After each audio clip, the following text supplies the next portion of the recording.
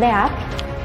É, comecei a me preparar aqui concurso mesmo para o DEAP, o curso deu uma preparação incrível para esse concurso. Os professores em aula deram tudo que a gente precisou, chegou na prova tinha todos os assuntos que a gente teve em aula. Então foi essencial para o resultado que eu estou alcançando. Fiquei com nota relativamente boa estou bastante feliz com o meu resultado.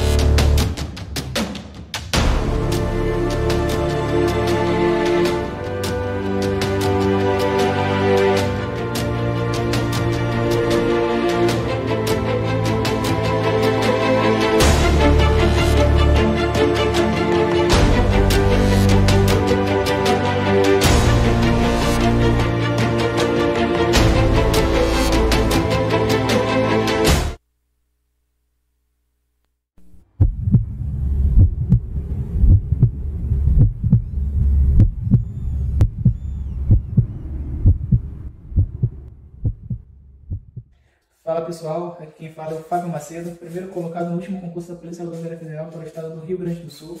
nessa trajetória até aprovação, contei muito com a ajuda do curso Ronaldo Bandeira, conto com excelentes professores, excelentes profissionais é, que me ajudaram nessa, é, nessa trajetória aí. É, eu fui da primeira turma do, do curso Ronaldo Bandeira, eu tenho orgulho de dizer isso.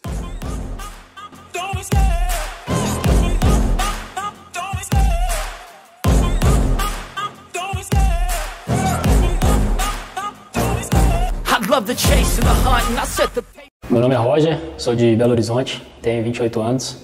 É, atualmente aprovado nos cursos da PMDF, Polícia Federal e Rodoviária Federal.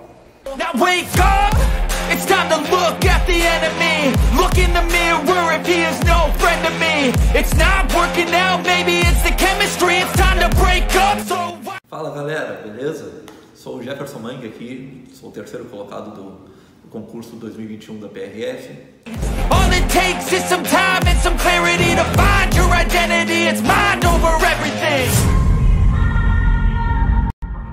Olá, meu nome é Cindy, tenho 27 anos, sou aluna do Bandeira e estudo para carreiras federais, Polícia Federal, Polícia Rodoviária Federal especialmente, e fui aprovada no concurso da PMSC 2019.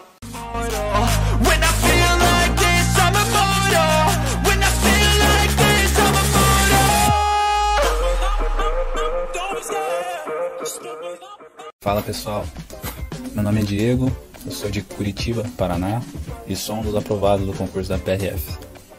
Oi, tudo bem? Meu nome é Francine Monks Fernandes, eu fui aprovada agora no concurso da PRF 2021.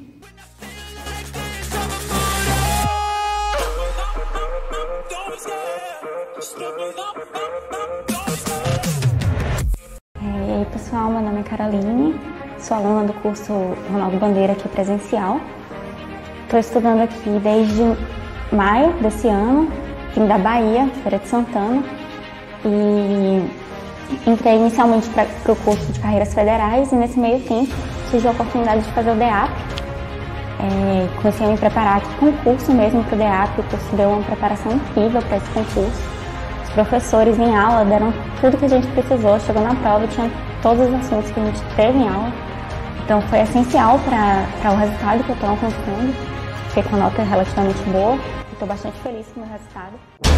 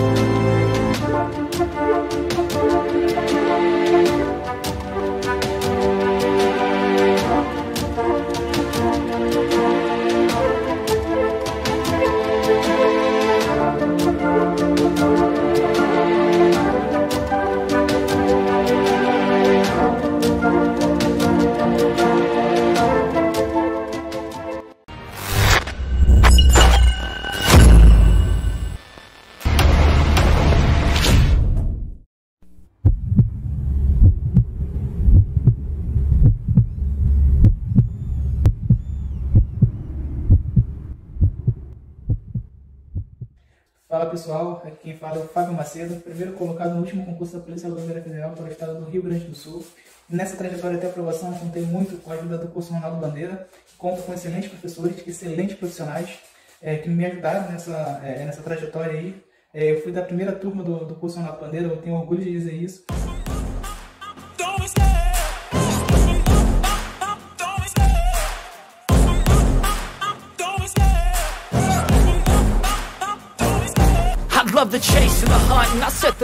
Meu nome é Roger, sou de Belo Horizonte, tenho 28 anos, é, atualmente aprovado nos cursos da PMDF, Polícia Federal e Rodoviária Federal. Now wake up! It's time to look at the enemy. Look in the mirror if he is no friend to me. It's not working out, maybe it's the chemistry. It's time to break up. So... Fala galera, beleza? Sou o Jefferson Mangue aqui, sou o terceiro colocado do concurso 2021 da PRF. All it takes is some time and some clarity to find your identity. It's mind over everything. Olá, meu nome é Cindy, tenho 27 anos, sou aluna do Bandeira e estudo para carreiras federais, Polícia Federal, Polícia Rodoviária Federal especialmente, e fui aprovada no concurso da PMSC 2019.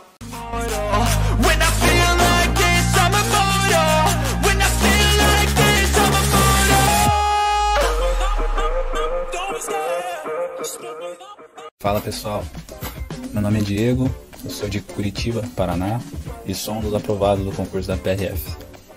Oi, tudo bem? Meu nome é Francine Monks Fernandes, eu fui aprovada agora no concurso da PRF 2021.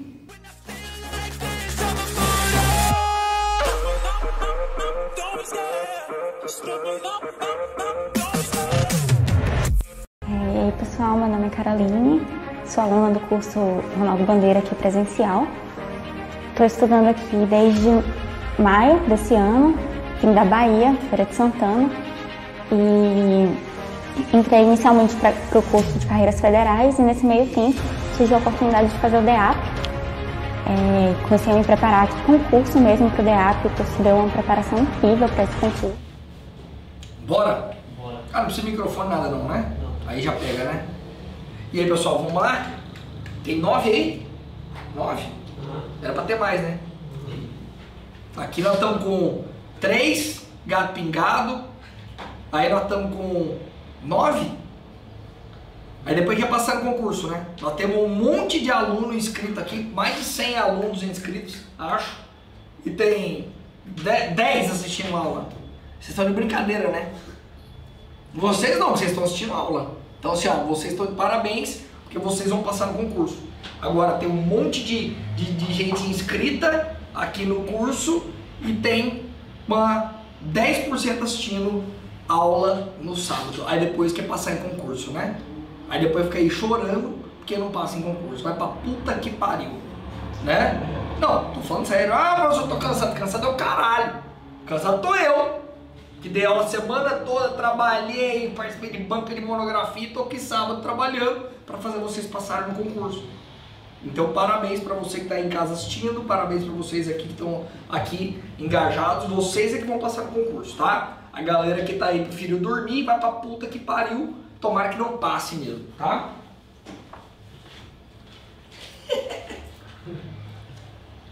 Bom, uh, e aí a, a galera se empolga para estudar só quando, quando sai o edital, né? Quando sai o edital, aí vem estudar. Acha que vai estudar tudo que tem de matéria em, em, em uma semana, né? então parabéns para vocês aí. Pessoal, eu já estou bem nervoso parece, né? É que eu não tomei meus remédios todos ainda, eu esqueci no carro. Na hora do intervalo eu vou tomar remédio e vou ficar mais tranquilo, tá bom? Vamos lá então, pessoal, eu só quero lembrar com vocês o último ponto que estudamos na aula passada, que foi o seguinte, ó. Quais são os três elementos do crime mesmo? Fato típico, ilícito, não é isso? Aí a gente estudou legítima defesa, tudo já, né? E culpabilidade, não é isso? Quais são os elementos que integram a culpabilidade? Lembrando que a culpabilidade está ligado diretamente à possibilidade ou não de aplicação de pena. Lembra? E lembra que eu falei para vocês que vocês têm que memorizar esse quadro? Não foi aqui nessa turma que eu fiz um quadro bonito, não foi? Foi. Pô, fiz um puta de um quadro aqui. Vocês têm que memorizar aquele quadro, tá?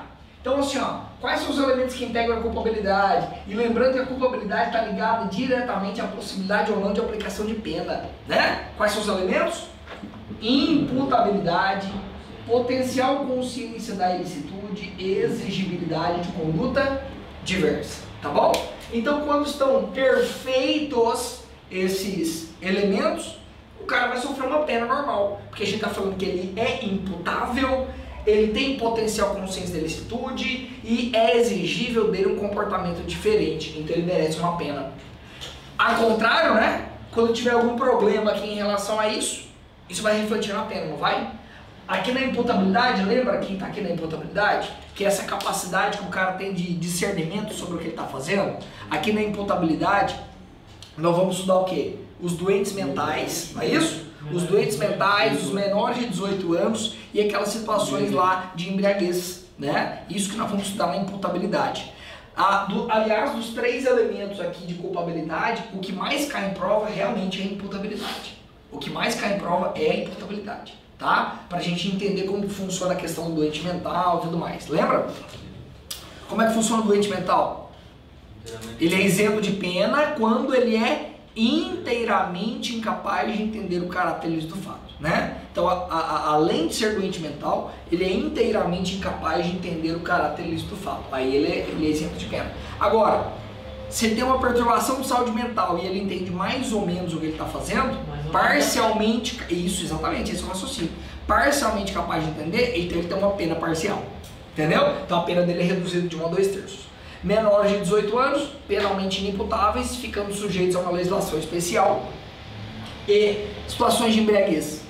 Como é que fica embriaguez? Embriaguez completa, discernimento zero. Embriaguez completa, por caso fortuito ou força maior, né? Embriaguez completa, por caso fortuito ou força maior, isenção de pena. Embriaguez incompleta, por caso fortuito ou força maior, parcialmente capaz, pena parcial. Mesma coisa. É a mesma coisa o doido, né? O doido que não sabe nada é isento de pena. O doido que sabe mais ou menos, pena reduzida, pena parcial. Embriaguez completa, isento de pena. Embriaguez mais ou menos, pena reduzida. De... É a mesma lógica. Embriaguez por caso fortuito ou força maior incompleta, pena mais ou menos, pena reduzida de 1 a 2 terços. Fica fácil. Faz a ligação com doido, é a mesma coisa, tá? Potencial consciência de ilicitude, é que a gente tá, trabalhou o erro de proibição, não é isso? Então só vai merecer pena o cara que tem condições de entender que aquele comportamento dele é ilícito. Exigibilidade de conduta diversa. Nós estudamos, exato, nós estudamos aqui duas situações onde vai ser a, a inexigível do agente um comportamento diferente, né? Ou seja, nós tem duas situações no código onde se o sujeito praticar aquela conduta naquela situação, ele será isento de pena. Ou seja, o sujeito aqui praticou uma conduta sob coação moral irresistível, né? Botou a arma lá na cabeça do, do, do filho do cara e falou, ah, vai lá furtar o banco, senão eu vou matar seu filho. Pô, o cara não tem, tá bom, vou lá, né? Então agiu sob coação moral irresistível, ele vai ser isento de pena, né? Ou, cuidado, para a nossa prova mais importante aqui é obediência à ordem superior hierárquica. Obediência à ordem superior hierárquica não manifestamente legal. Então o seu superior hierárquico está te dando uma ordem, mas essa ordem você não tem, não está entendendo que essa ordem é ilegal. Você não tem como saber que essa ordem é ilegal. Então nesse caso haverá isenção de pena, tá bom? Somente o autor da ordem que vai, uh, que vai uh, responder criminalmente por isso, tá? Professor Túlio, já deu um esporro na turma aqui, tá? Muito bem. Tá já deu um esporro. Não, não, porque olha só. Vem cá, vem, vem cá. Vem cá. Olha só. Nós temos aqui, nós temos aqui uma infinidade de alunos inscritos no curso. Sim. E aí ele tá me dizendo que tem meia dúzia de gato pingado ali no negócio. É, tem um bocado. Tá Aí eu falei assim, depois o povo quer passar em concurso. É porque, tipo, a galera ainda tem essa mentalidade que vai estudar pós-edital e vai conseguir lograr extra. Não É. é, não é assim, cara. Aí sai o edital, aí, aí o cara quer estudar tudo em uma semana. É. Aí, Tomar no cu, né? É foda, é foda. A galera não, Não, então, aí eu tô falando, tá de parabéns quem tá aí assistindo agora e vocês aqui. Vocês vão passar essa porra aí, tá? Vamos lá, pessoal. Show de bola. Fizemos aqui uma recapitulação então de culpabilidade. Já na última aula, nós iniciamos ali um tema importante que é crime consumado e crime tentado. E vamos lembrar do que a gente chama de iter. Falei disso na aula passada. Iter crimes ou fases do crime, né? A doutrina vem dizer o seguinte: olha, a partir do momento que o sujeito pensa em cometer o crime até o momento da consumação do crime, até o momento que o presunto está lá no chão, nós vamos passar por quatro etapas. Quais são elas? Isso. Cogitação, que é o pensar, né? Cogitação, que é o pensar em praticar o crime. O que mais? Preparação. Isso. Preparação. O que mais?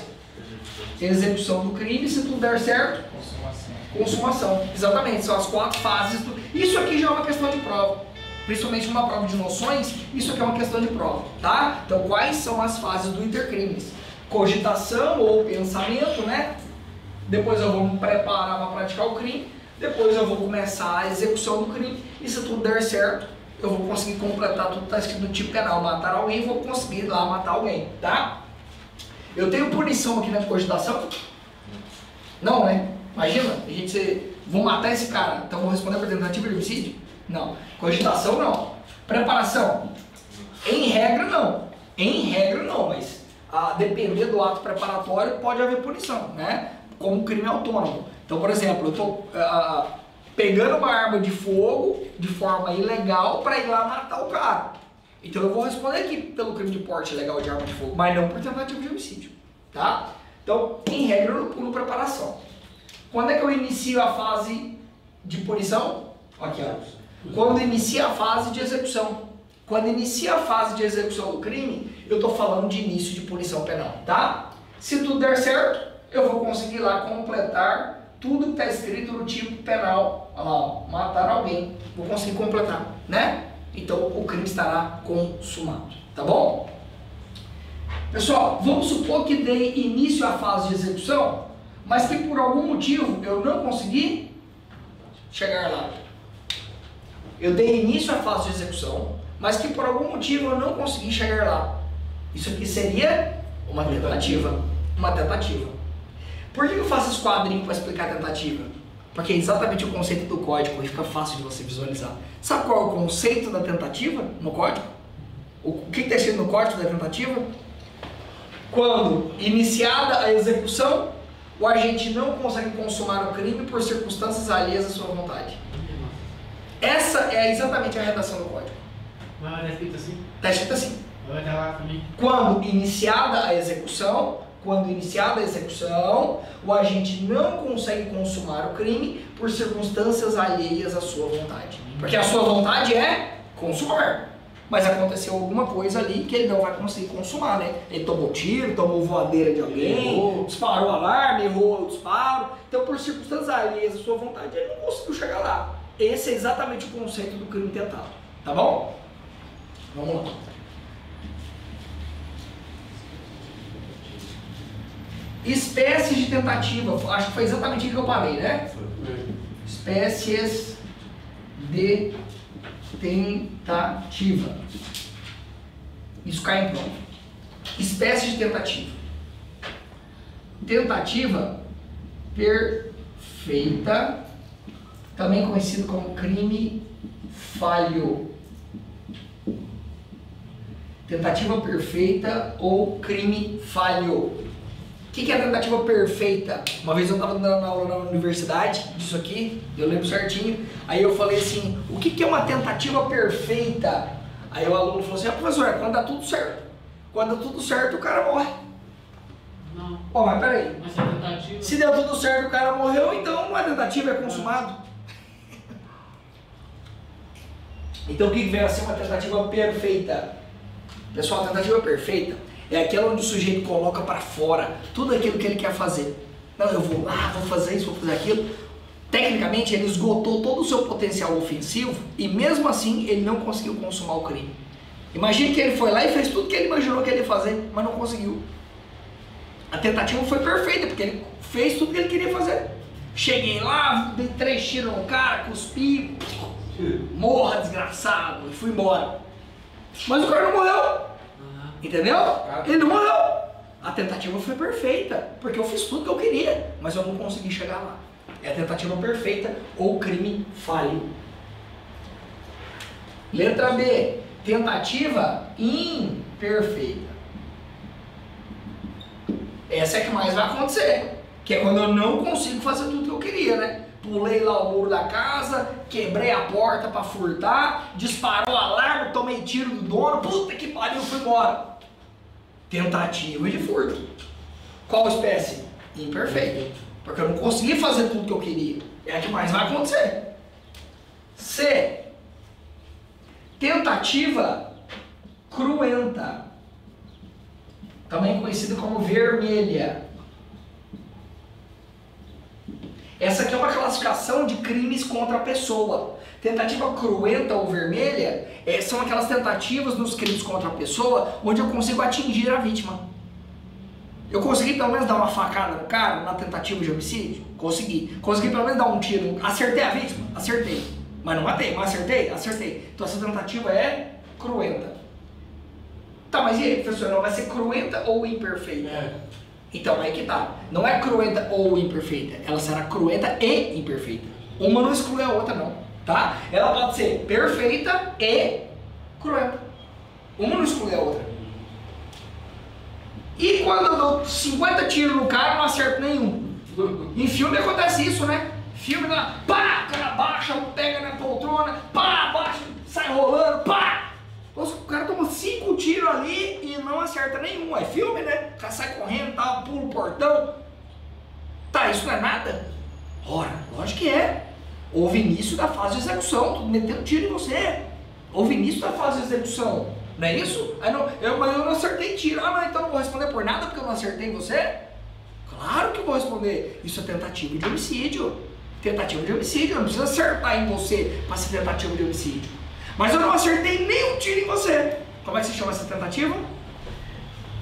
Tentativa incruenta ou tentativa branca. Ó, essa é uma das que mais cai em prova. Tentativa branca. Perceba, você deu 20, tacou faca no cara, meteu tiro, não acertou nada. Ué, é tentativa de homicídio, ué. É tentativa de homicídio, não precisa acertar o cara para ser tentativa. É tentativa de homicídio. Qual espécie? Branca. É então ela será imperfeita ou branca, ou perfeita e branca, tá? Uma não exclui a outra, como eu disse. Letra E. Tentativa idônea. Estamos quase chegando na, na principal que eu acho que vai cair na sua prova. Tentativa idônea. A tentativa idônea, a gente vai analisar duas coisas aqui, ó. Os meios e o objeto.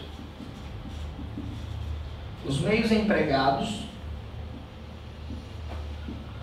para o crime e o objeto a ser atingido. Olha lá. Eu vou analisar duas coisas. Nessa minha tentativa aqui, eu estou com uma arma de fogo, eu estou com uma arma de fogo tentando te matar, beleza? O que, que eu vou analisar para saber se a tentativa é idônea? O meio empregado, arma de fogo. Eu consigo matar alguém com uma arma de fogo? Sim. sim. Ok? Ok. Então o meio é Ok. O objeto a ser atingido é aquela pessoa lá. A pessoa é ok? Tem uma pessoa ali para ser morta? Ok também. Ok também. Então se eu tenho ok nos dois, então é uma tentativa idônea. É uma tentativa idônea. É possível, seria possível realmente se chegar lá no crime de homicídio. Essa é a ideia da tentativa idônea. Então ela pode ser ao mesmo tempo perfeita, ela pode ser perfeita, cruenta e idônea. Já caiu em prova exatamente isso. Expuseram lá uma, uma, uma situação e perguntaram qual seria a classificação daquela tentativa. Se ela seria perfeita, cruenta, idônea, perfeita, incruenta, entendeu? Isso já caiu em prova. Tiver uma arma, uma vítima já era. É, aí você está analisando, não, pelo menos você está analisando a questão da idoneidade. Sim. A idoneidade é, seria possível? chegar na consumação daquele crime? Seria, então ela é idônea. Tanto que a, a idônea também chama, é chamado de crime possível. Ó, a idônea é chamada de crime possível, porque seria possível mesmo matar o cara. Só não consegui, mas seria. Porque o meio era beleza e tinha uma pessoa para ser morta. Então, no caso E o cara, eu vou chegar lá agora. E o contrário, que é uma das principais questões de prova. E o, e o contrário? E o contrário? É a tentativa inidônea ou crime impossível, também chamado de quase crime. É muita coisa, né, pessoal? Imagina com os imbecis aí que não estão assistindo aula. Tô bravo, né? É que eu fico bravo, eu fico bravo mesmo do, do pessoal querer passar em concurso e não assistir aula, cara. Eu fico bravo. Aí o cara tá achando que vai decorar tudo isso aqui em uma semana. Fala. Aí entra isso na prova. Isso aí tem a ver com, tipo, se eu tá com uma arma em algum lugar e ela não for. É isso, exatamente, então vamos falar disso agora. Então, ó, tentativa inidônea ou crime impossível, também chamado de quase crime. Isso aqui está no artigo 17 do Código Penal, tá?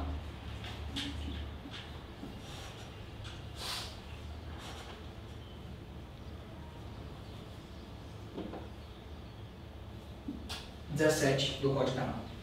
Como é que é isso? A gente vai analisar as. Como é que se chama? Gabriel. Gabriel, a gente vai analisar a mesma coisa, ó. Meios e objeto. Ó. Meios e objeto. A gente vai analisar a mesma coisa. Pra gente saber se é possível ou não chegar naquele crime. Por isso chama crime impossível, porque não vai ser possível. Quer ver? Arma de fogo. Eu consigo matar alguém com uma arma de fogo? Sim. Ok. Ok. Olha o caso que eu vou te dar. Vou lá na casa do cara com uma arma de fogo para matá-lo. Chego lá, abro a porta do quarto dele, vejo que ele está deitado na cama, dormindo.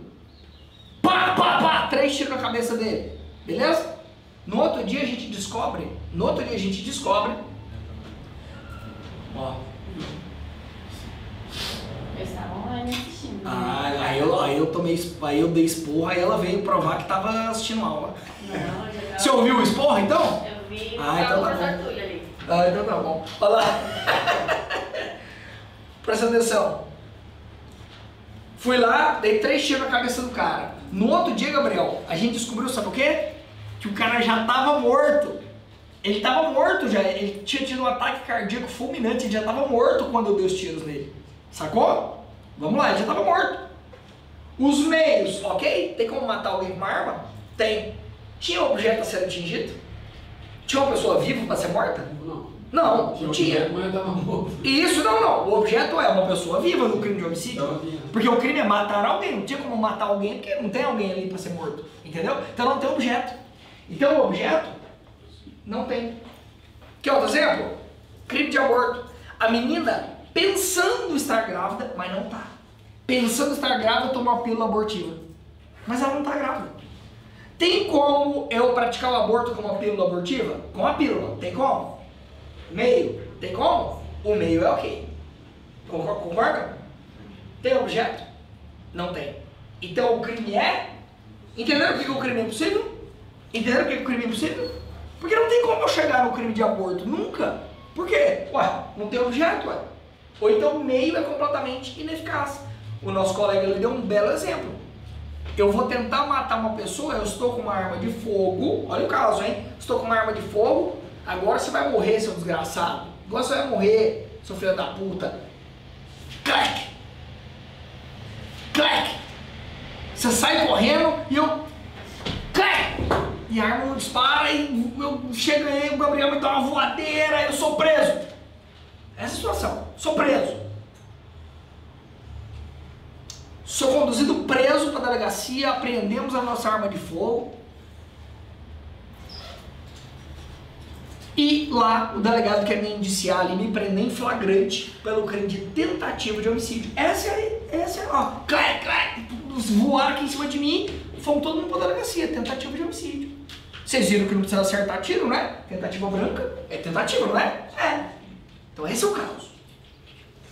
Vamos levar nossa arma a uma perícia. Sabe o que a perícia descobre? Aquela arma é completamente ineficaz. Não tem como efetuar disparo de arma de fogo com aquela arma. Não tem como efetuar disparo com aquela arma. Ela é completamente ineficaz, ela não funciona. Sacou? Aquela arma não funciona. A perícia destacou, não funciona. Vamos lá? Tinha um objeto para ser morto? Tinha. Não, tinha alguém para ser morto. O meio. Eu tinha como matar o cara naquele meio? Não.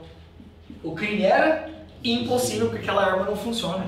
Você entendeu? Que agora o problema está nos meios, não está no objeto. Legal isso não? Então, esse negócio da tentativa, a gente vai analisar sempre o meio e o objeto. Se um dos dois falha, o que, que eu tenho? Crime impossível. E você sabe qual que é essa questão da prova? Qual que é a repercussão jurídica que eu tenho aqui no código para crime impossível? Sabe o que eu tenho? O agente não responde por tentativa.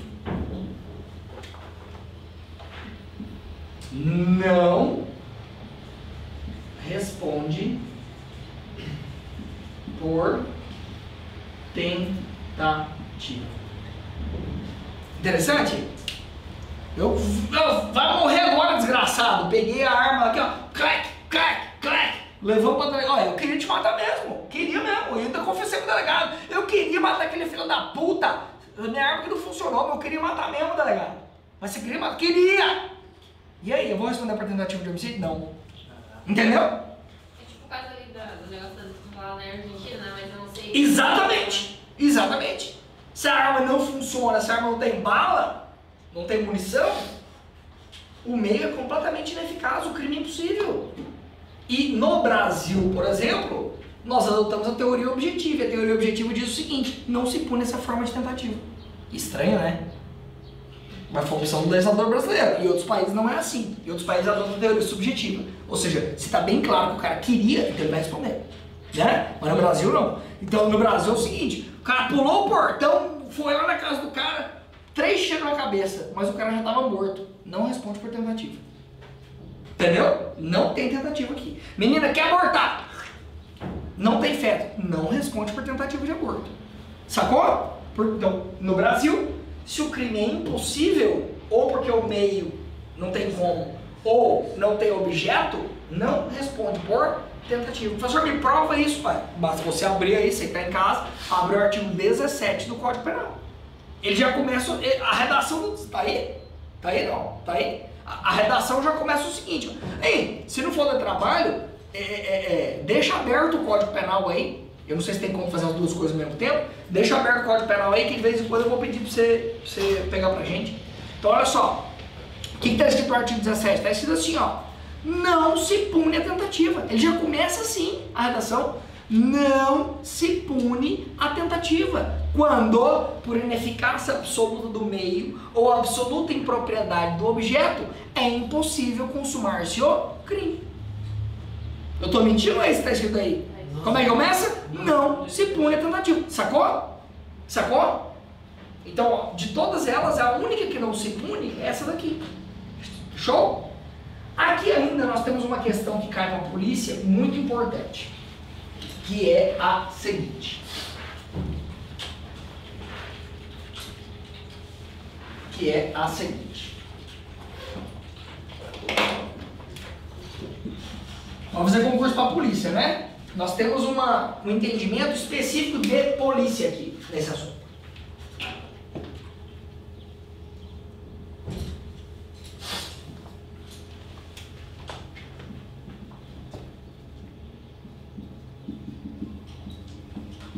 Ó, a polícia arma um flagrante. Vamos armar uma arapuca pro cara.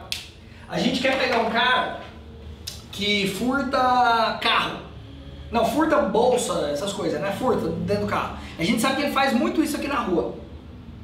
Muitas ocorrências. Sabe o que a gente faz? Vamos pegar uma viatura descaracterizada, vamos deixar ali embaixo, vamos botar um monte de bolsa dentro, um monte de celular dentro, e vamos ficar todo mundo nossos policiais em volta ali, ó, um vestido de carteiro, o outro vestido de mendigo, só, só vestido de mendigo é foda, né? Tem roupa de mendigo, o outro, o outro ali fingindo que é um mendigo e tal, vamos ficar todo mundo em volta do carro. A hora que o vagabundo aparecer, tipo, pá, cata ele, beleza? Beleza? Esse é o nosso plano. Vamos armar uma arapuca pra ele.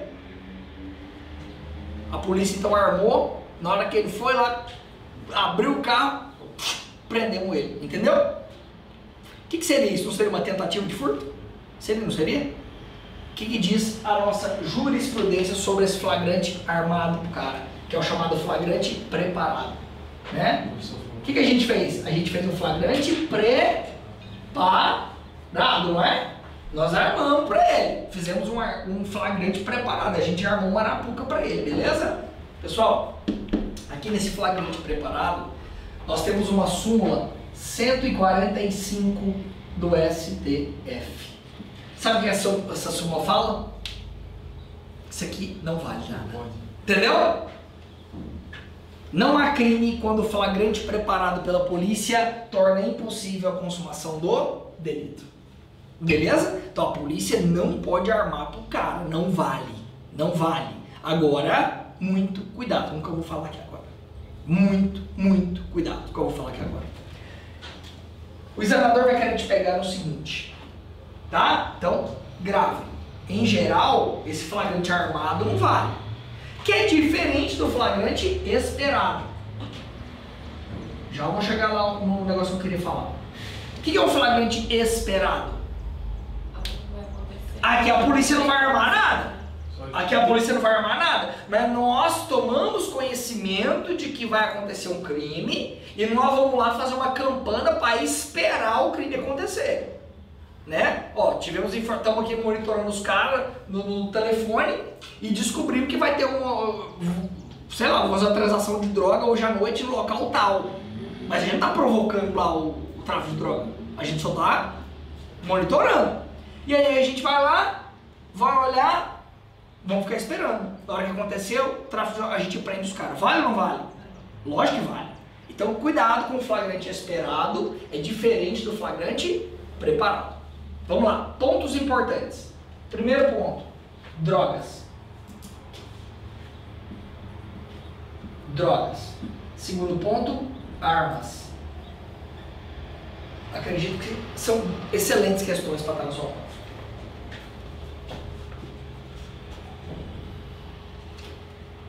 Policial disfarçado. Policial disfarçado. Vai lá no local lá para comprar droga, tá bom? Ah, quero um pó, quero isso, quero aquilo.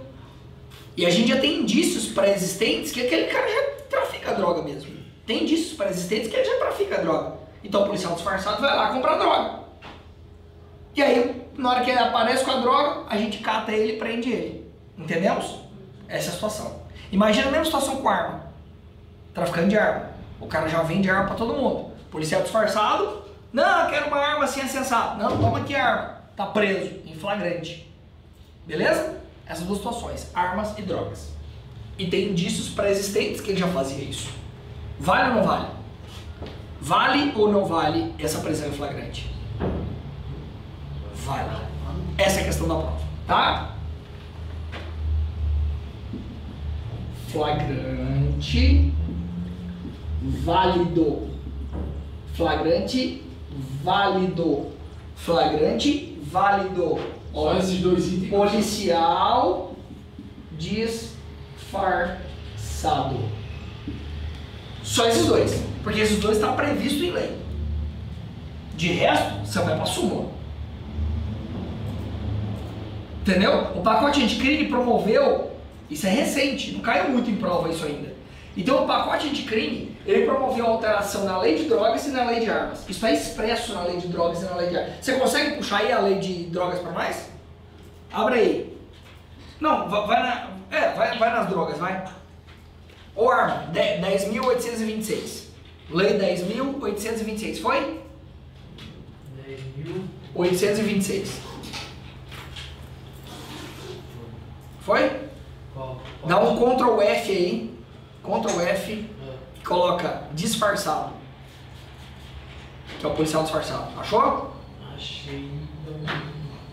Lê pra gente aí. É... Inciso 2, né? Lei. Incorre na mesma pena quem vende ou entrega arma de fogo. Assim, Não, o que você fala aí, o pessoal tá ouvindo? Tá. Então fala alto. Incorre na mesma pena quem vende ou entrega arma de fogo, acessório ou munição, sem autorização ou em discordo com determinação legal ou regulamentar. A agente policial disfarçado, quando pres- presentes elementos probatórios razoáveis de conduta criminal preexistente. Viu? Entendemos? Eu não vou pedir pra você abrir a lei de drogas, mas a lei de drogas fala exatamente a mesma coisa. Então, assim, ó, tanto na lei de drogas quanto na lei de armas, veio expresso o seguinte, né? Policial disfarçado, o cara vendeu droga para policial disfarçado, vendeu arma para policial disfarçado, o que eu tenho? Flagrante, tranquilo, é válido. E por que essa questão vai cair em prova? Porque eles querem te confundir com essa situação aqui da súmula, que diz que esse flagrante preparado pela polícia não vale nada. São situações diferentes.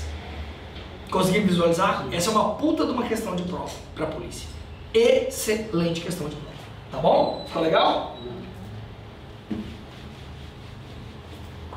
Vamos lembrar da arma e droga, esse flagrante preparado. Olha, se eu fosse apostar, eu apostaria muito que vai cair uma questão dessa, tá?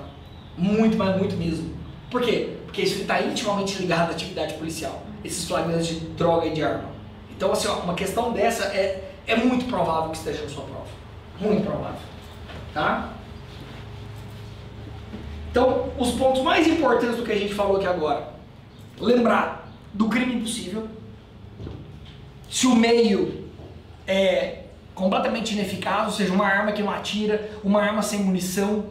Então não tem como matar alguém com uma arma sem munição, pessoal. Então eu não vou responder por tentativa de homicídio, né? Então não se pune essa forma de tentativa. E os outros pontos importantes são exatamente esses dois aqui, tá? Lembrar de tráfico de armas e drogas, tá? Policial disfarçado ali, vale essa prisão, vale, é válida, tá?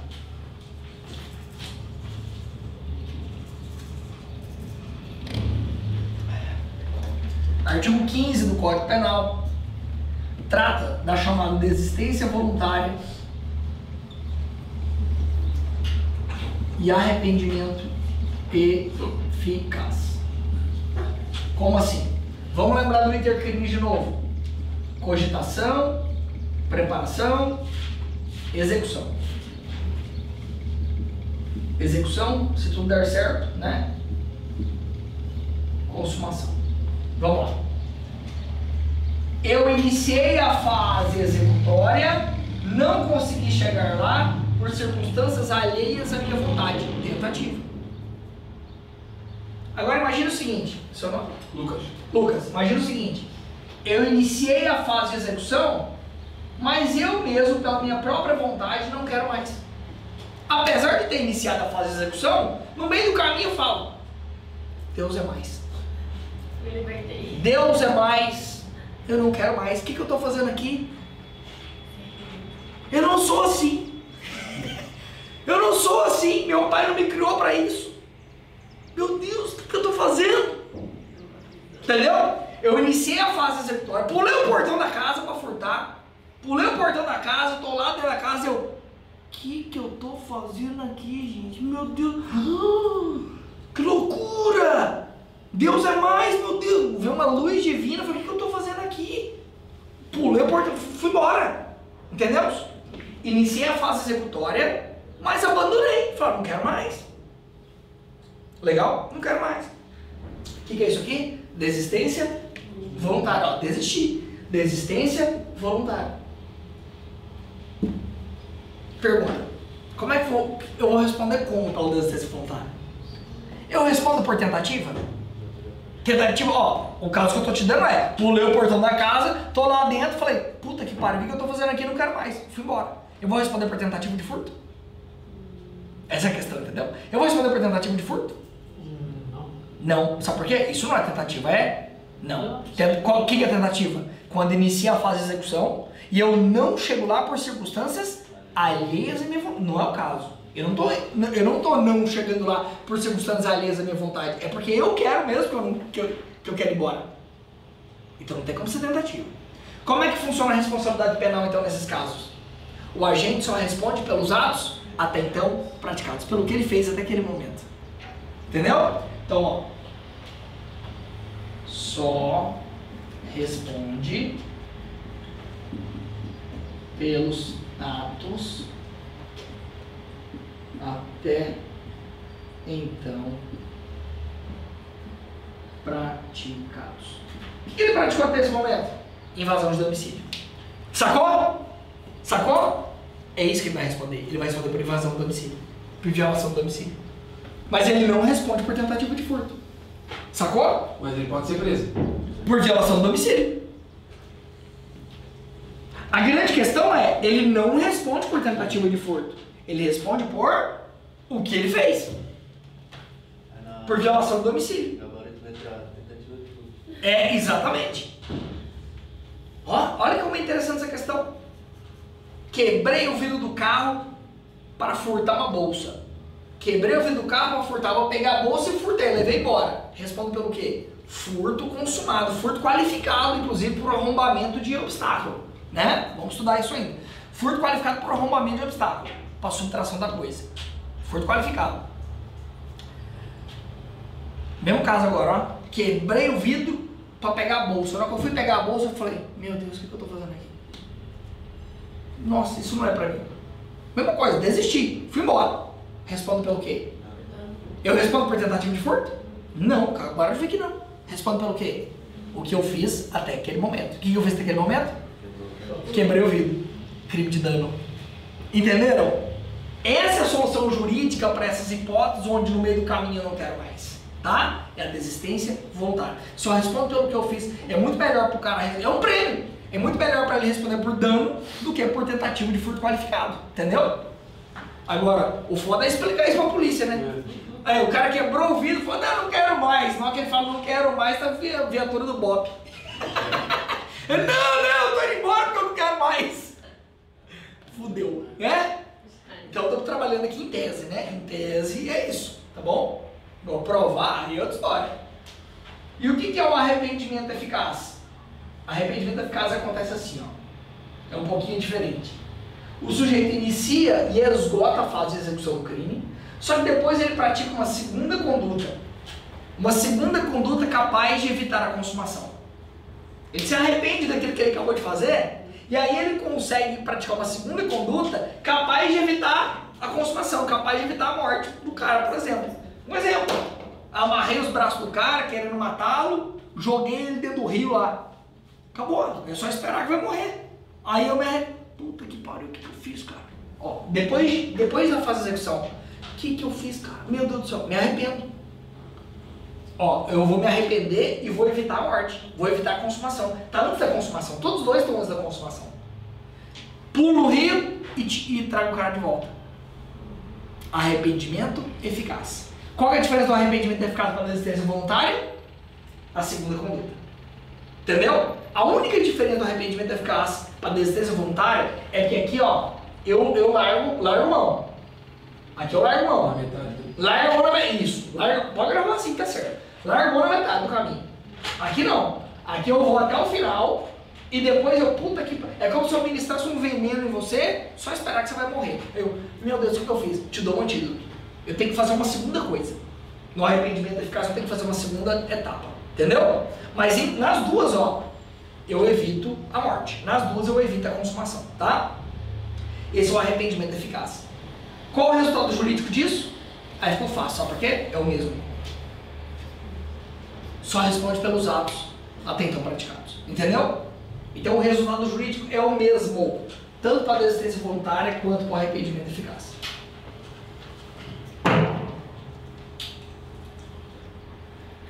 É a mesma coisa.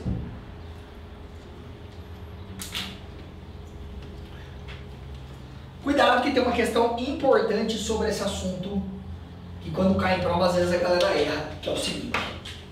Olha que interessante. Cara quer furtar a casa, né? O cara quer furtar a casa. E daí ele tá lá dentro da casa já, com as joias, furtando tudo. Com as joias. Aí de repente ele dá de cara com a dona da casa. Uma senhorinha, uma cadeira de roda, 90 anos. Ele fica paralisado, viu a senhorinha. Aí a senhorinha fala assim pra ele: Nossa, meu filho, você tem certeza que vai furtar uma velha como eu? Você não tem vergonha na sua cara, não. Você não tem vó, não. tem, tem vó, sim. O cara se sensibiliza com a conversa da, da idosa. Desculpa, senhor, desculpa. Larga as coisas lá. Desculpa, não sei o que estou fazendo aqui. Desculpa. E vai embora. Sacou? Bonitinho, né? Mas e juridicamente? Né? E juridicamente, o que está acontecendo aqui? Ele vai responder por tentativa de furto, isso é desistência voluntária, isso é arrependimento eficaz, o que, que é isso? Legal? Legal a questão? Então vamos lá, vamos lá. Pessoal, eu vou, eu vou, eu vou traduzir isso aqui em, em dois só. 50% 50%, ó. Isso é tentativa de furto ou isso é desistência voluntária? Que, que vocês acham? Isso é isso aqui? Tentativa de furto. Ou tentativa de furto. Então, muito cuidado com essa questão, tá? Uma galera iria responder tentativa de furto. Por quê? Ah, ele só desistiu, só abandonou porque a mulher falou com ele. Não tem problema. Não tem problema. Para desistência voluntária, não se exige que a ideia parta da cabeça do cara. Ele pode ser, inclusive, convencido a não continuar. Mesmo assim, vai ser desistência voluntária. Se o caso concreto revelar que se ele quiser, ele pode ir para frente, isso é desistência voluntária. Não se exige. Eu posso ser. Tá eu e ele, praticando furto. Eu e ele. Aí eu falo, não, cara, quer saber? Pô, larga isso aí, cara, vambora. Ele, não, vamos furtar, porra. Eu falo, cara, sério mesmo, velho. Porra, velho, não, eu, cara, a gente, tá errado o que a gente tá fazendo, cara. Larga isso aí, vambora. Eu falo, tá bom, tá bom, você é chato demais, vambora então. Entendeu? Eu convenci ele a não continuar. Pergunto, ele vai responder por tentativa de furto ou é desistência voluntária? É desistência voluntária.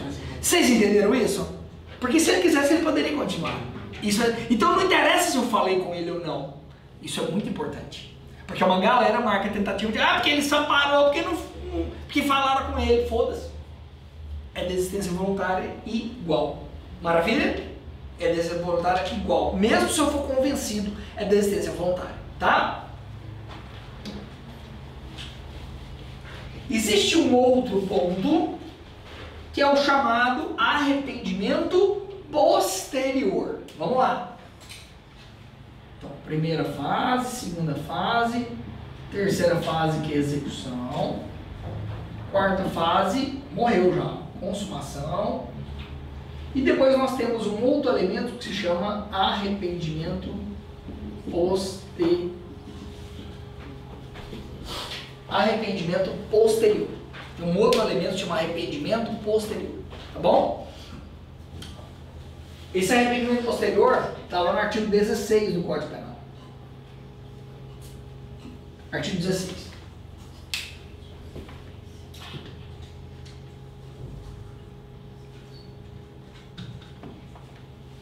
Por que se chama arrependimento posterior? Exatamente. Porque é um arrependimento que se encontra depois da consumação. O crime já está consumado, já foi furtado, já foi roubado, já, já matou. Tá? Posterior à consumação, já foi. Agora, é lógico que não tem como o cara se arrepender de todo e qualquer tipo de delito, né? Ah, mas arrependido de ter matado. E daí, eu vou ressuscitar o cara? Né? Então, no arrependimento posterior, o cara vai praticar uma conduta que vai reparar o dano ou restituir a coisa. Então, aqui no arrependimento posterior, ele vai reparar o dano ou ele vai restituir a coisa. Então, o arrependimento posterior só vale para reparar o dano ou restituir a coisa. Então, por exemplo, não cabe isso aqui para homicídio. Eu vou ressuscitar o cara? Não tem como. Tá? E qual vai ser o resultado jurídico disso? Se eu reparar o dano ou restituir a coisa? A pena reduzida. Pena reduzida de um terço a dois terços. Então a pena vai ser reduzida de um a dois terços se eu reparar o dano ou restituir a coisa depois do crime. Isso, aí eu, exatamente. Aí eu tenho alguns requisitos, tá? Mas perceba, o nosso legislador quis premiar, premiar o agente que depois do crime, depois do crime, ele repara o dano ou restitui a coisa. Tá? Então, eu furtei a bolsa lá da mulher, no outro dia eu fui lá arrependido, arrependimento posterior, porque já está consumado. No outro dia eu arrependido fui lá e devolvi a bolsa, restituí a coisa. Então eu vou ter a pena diminuída do furto de 1 a 2 terços. Entendemos isso? Só que eu tenho alguns requisitos a mais para preencher aqui, tá? Então, ó, vou restituir a coisa ou reparar o dano e meu prêmio vai ser ter a pena reduzida de 1 a 2 terços, tá bom? Eu tenho mais um elemento aqui, prazo. Eu tenho um tempo para poder restituir essa coisa, reparar o dano. Qual é o prazo? Até o recebimento da denúncia ou, ou da queixa.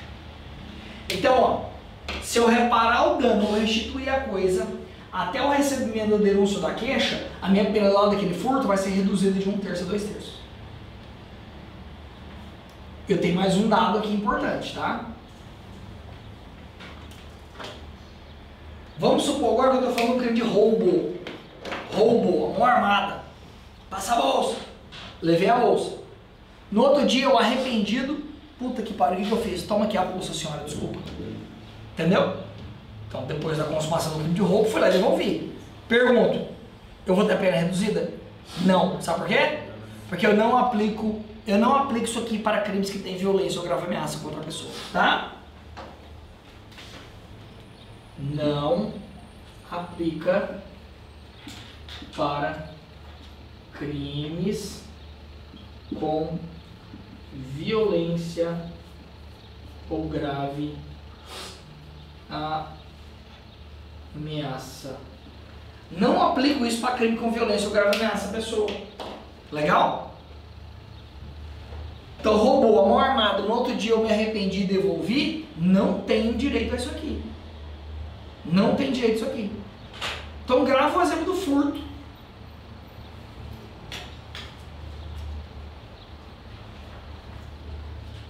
Pelo amor de Deus, não confundam pelos nomes. Arrependimento eficaz com arrependimento posterior. Tenta fazer um mnemônico aqui, arrependimento posterior. Por que, que chama posterior? Porque depois de consumar o crime, porra. Não tem como errar. Por que eu estou dizendo isso? Sabe como cai em prova? Sabe como cai em prova? Vai cair assim, ó.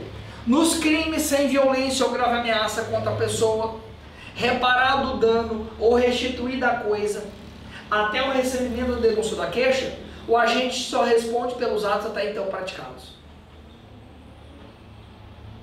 Tá certo o que eu falei? Esse é o resultado do arrependimento eficaz. Essa história de só responde pelos atos até então praticados era um arrependimento eficaz e na desistência voluntária. No arrependimento posterior, o que eu tenho? Redução de pena. Então eles vão pegar os resultados e vão inverter. Beleza? Eles vão dizer: o agente que desiste voluntariamente, o agente que desiste voluntariamente do prosseguimento da execução do crime terá a pena reduzida de um a dois terços. Sacou? É assim que eles perguntam. Só muda o resultado jurídico. Entendeu? Filha da putagem, né? Mas é isso que eles fazem. Para saber se você sabe qual é o resultado jurídico das coisas. Porque eles sabem que a maioria dos alunos vão confundir arrependimento posterior com arrependimento eficaz. E não vai lembrar que um é redução de pena, o outro é responde pelos atos praticados. Não vão lembrar disso. Mas vocês vão lembrar. Vocês vão lembrar a galera que não está assistindo aula aqui para a praia não vai, não sabe nem o que está acontecendo, tá? Vocês vão acertar. Então a gente saca da balada. É. Entendemos isso? Legal? Última questão sobre isso aqui. Arrependimento posterior. Bem, já traz um café para o professor, hein? É?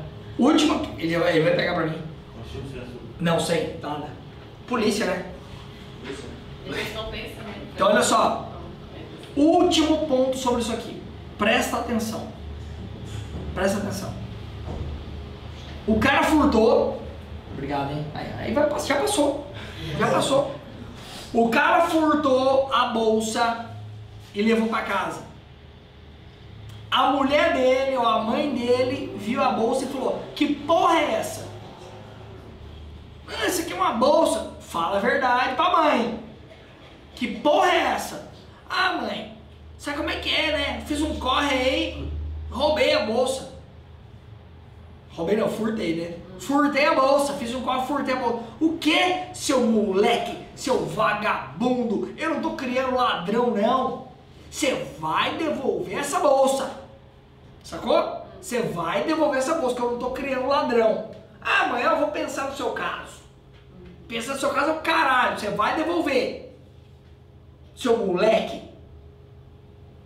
Tá, mãe, tá, vai, vai embora. Aí a mãe sai do quarto, o moleque fica lá refletindo, refletindo. Pô, o que que eu fiz, cara? Que merda que eu fiz. Quer saber? Eu vou devolver essa bolsa. Só minha mãe vai ficar me enchendo a porra do meu saco. Eu vou devolver a bolsa.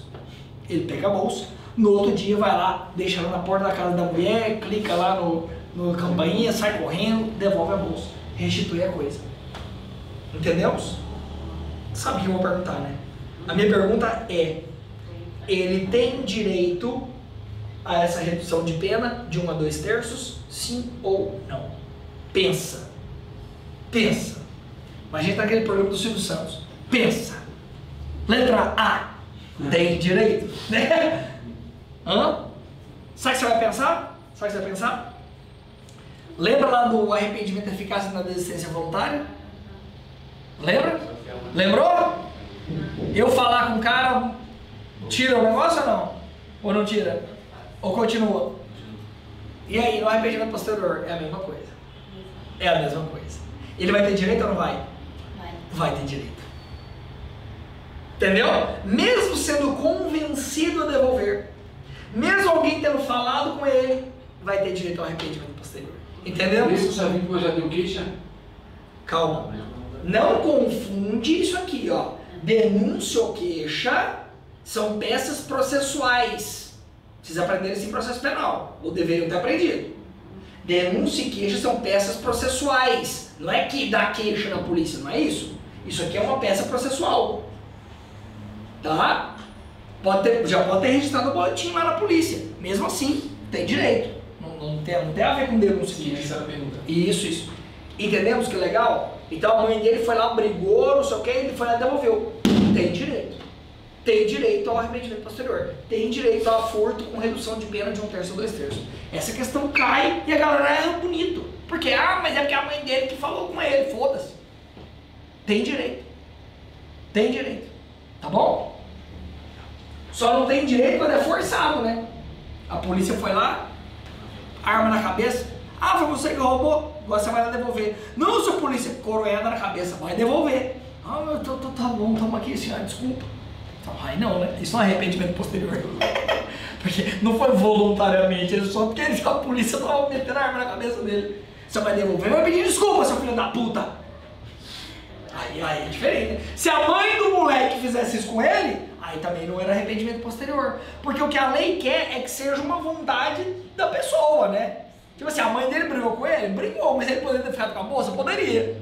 Mas não, ele não, é verdade, não vou devolver essa porra. Então a gente quer premiar isso.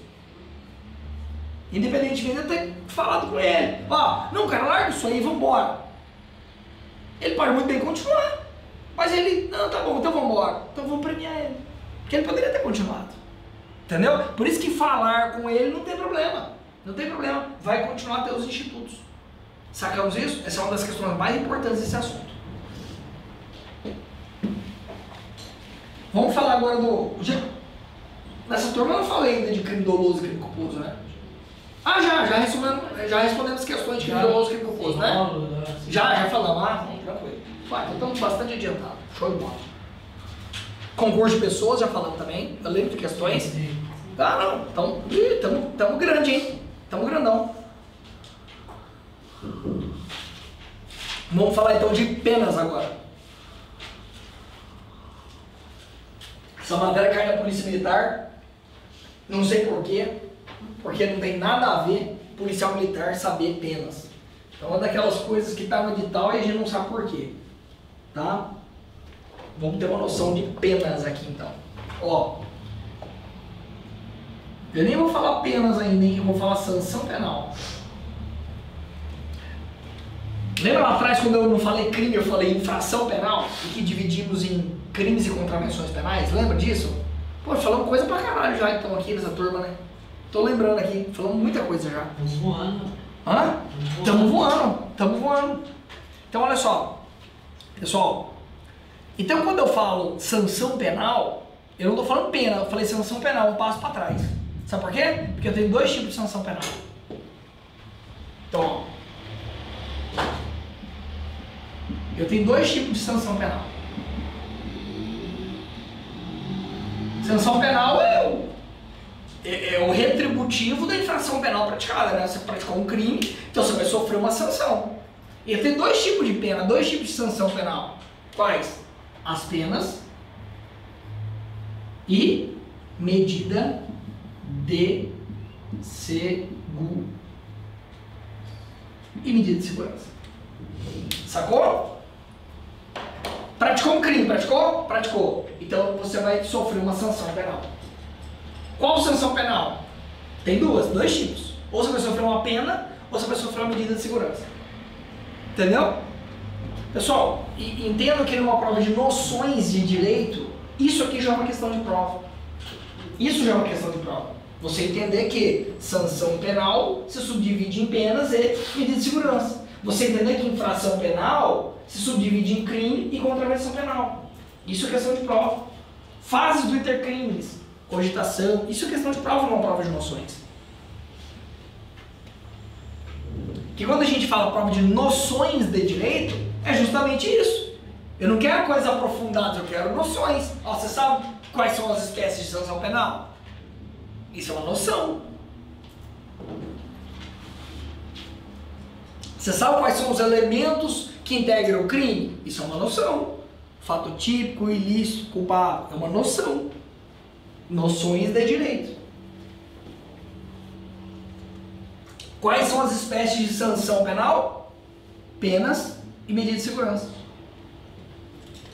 As penas, pessoal, são para as pessoas imputáveis. E as medidas de segurança? inimputáveis. O que são os inimputáveis? Doente mental.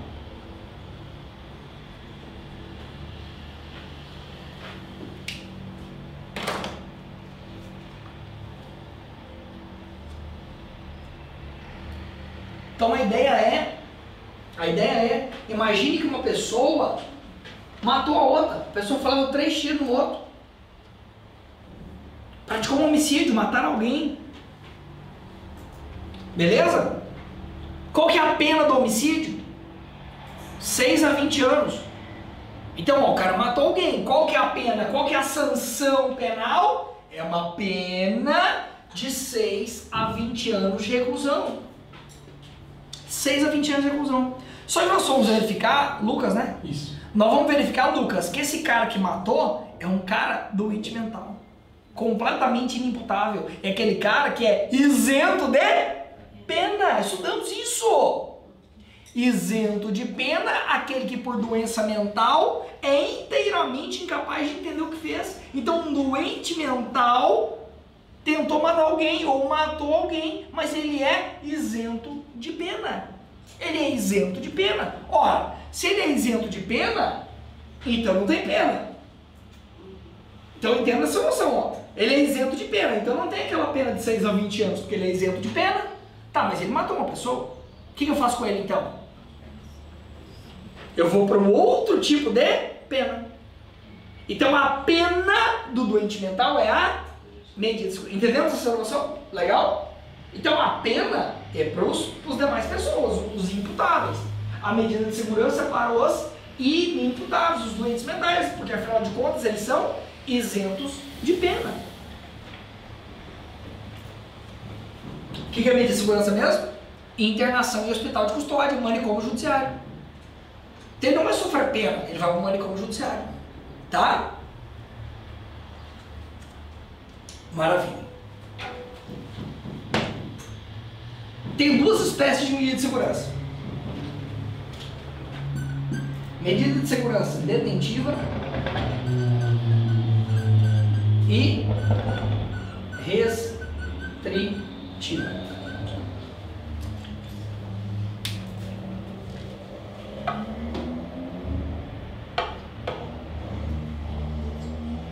A detentiva vai ficar preso lá no hospital de custódia, não sai não.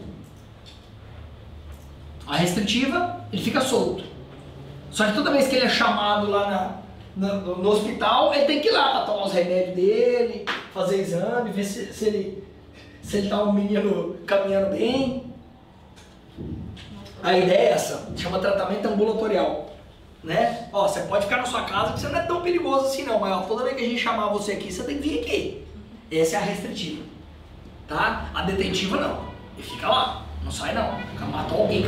Fica lá. Né? O cara que tentou matar o Bolsonaro, meteu facada lá no Bolsonaro, que ó, medida de segurança detentiva. Tá preso. Hospital de custódia. Tá preso no hospital de custódia. Ainda. Medida de segurança, tá. Tá. Preso no hospital de custódia. Aí quando ele sai de lá? Depois que passar o período mínimo de internação, que é de 1 a 3 anos, ele passa por perícia médica. A perícia médica vai constatar se ele deixou de ser perigoso. Não é se ele deixou de ser doente. É se ele deixou de ser perigoso. Se ele deixou de ser perigoso, aí ele, aí ele é solto. Aí ele é solto e fica em observação pelo período de um ano. Pra ver se ele tá. É, pra ver se ele dá uma melhorada. Entendeu? Agora, se nesse um ano que ele vai ficar em observação, se ele praticar alguma conduta meio, meio, meio fora da curva, meio perigosa, ele pode voltar para internação. É assim que funciona, tá? Beleza, isso aqui é pro doente mental, porque afinal de contas ele é isento de pena. E pro cara normal aqui, como é que funcionam as penas? As penas são? As penas são privativas de liberdade, pena privativa de liberdade, restritivas de direitos ou pena de multa. Tá ficando bonito esse quadro, hein? Sanção penal, penas, medida de segurança. As penas são privativas de liberdade, restritiva de direito e pena de multa. Medida de segurança para o doente mental, detentiva e restritiva. Isso são noções. Está no seu edital. Pena, sanção penal, tá tudo lá.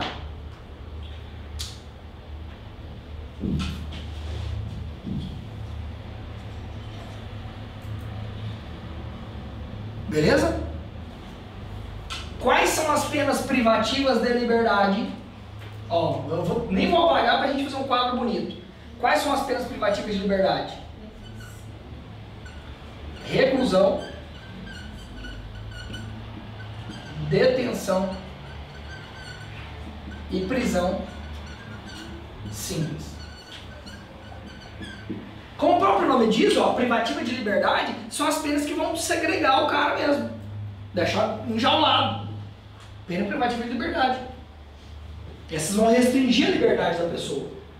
Reclusão, detenção e prisão simples. Então quando a gente abre lá o crime de furto, tá lá, pena do furto, reclusão de 1 a 4 anos. A gente abre o crime de ameaça do artigo 147, tá lá, detenção. É uma pena privativa de liberdade, mas é detenção. A prisão simples é para quem? Acho que já estudamos isso, hein? Contravenções penais. Já estudamos isso.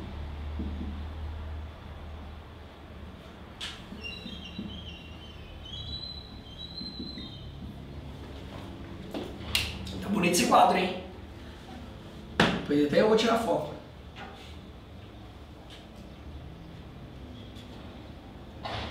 Então quando a gente lê lá no homicídio, reclusão, quando a gente lê lá na ameaça, detenção, qual a diferença entre reclusão e detenção? Quando a gente lê no código, agora vocês vão aprender. Quando a gente lê no código que o crime lá pena de reclusão de 6 a 20 anos, o outro crime é detenção. Qual a diferença entre falar reclusão e detenção? Essa diferença, essa diferença refere-se aos regimes prisionais, fechado, semiaberto e aberto. Entendeu? Então quando fala reclusão e detenção, é uma dica do código, por assim dizer, para a gente saber quais são os regimes prisionais. Quando eu falo reclusão, significa dizer que são possíveis os regimes fechado, semi aberto e aberto. Entendeu? Então a reclusão compreende o regime fechado. E a detenção? Semi-aberto e aberto. Não compreende o regime fechado. Então, num crime de ameaça, não tem regime fechado. Entendeu? Porque é detenção.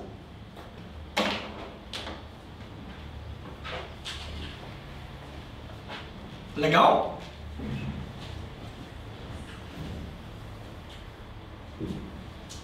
Pessoal, questão importante. Quando eu falo que um crime é apenado com reclusão, igual o homicídio, por exemplo, reclusão 6 a 20 anos, furto, reclusão de 1 a 4 anos, estelionato, reclusão de 1 a 5 anos, reclusão. Então é isso aqui, ó. Fechado, sabe? Pergunto. Quando o cara é condenado por um homicídio, que é reclusão, quando o cara é condenado por um furto, que é reclusão, por um roubo, que é reclusão, significa dizer que ele vai começar de cara no regime fechado? Entendeu a pergunta? Ele tem que começar no fechado, sim ou não? Sim. Não. Entendeu? Essa é uma boa pergunta, né? Então, não, ó, não necessariamente ele tem que começar no mais grave. Significa dizer que são, por isso que eu deixei esse espaço, ó, são possíveis os regimes fechado ou semi-aberto ou aberto. Isso, por isso que eu tô aqui. Por isso que eu tô aqui. Porque isso é questão de prova. Porque a gente tem a noção, na prova de noções, que se o cara é, é reclusão, então tem que começar a fechar. Não, não tem. Professor, você está querendo me dizer que mesmo um crime sendo apenado com reclusão igual o homicídio, por exemplo, igual o furto, o cara pode começar de cara no regime aberto? Pode. Pode começar de cara no semi-aberto? Pode. Então ele pode ser condenado, olha que interessante o jogo de palavras, porque é o jogo de palavras que nos confunde, né? Então olha, olha a sentença que eu vou dar aqui agora. O Lucas, pelo crime de furto, o, condeno o Lucas a pena de reclusão de um ano e seis meses em regime aberto. Então falar-se reclusão não é igual fechado. Que a palavra dá a entender isso, mas não é. Eu quero que você entenda que a palavra reclusão significa três regimes prisionais diferentes. Não significa necessariamente fechado. Apesar da palavra parecer isso.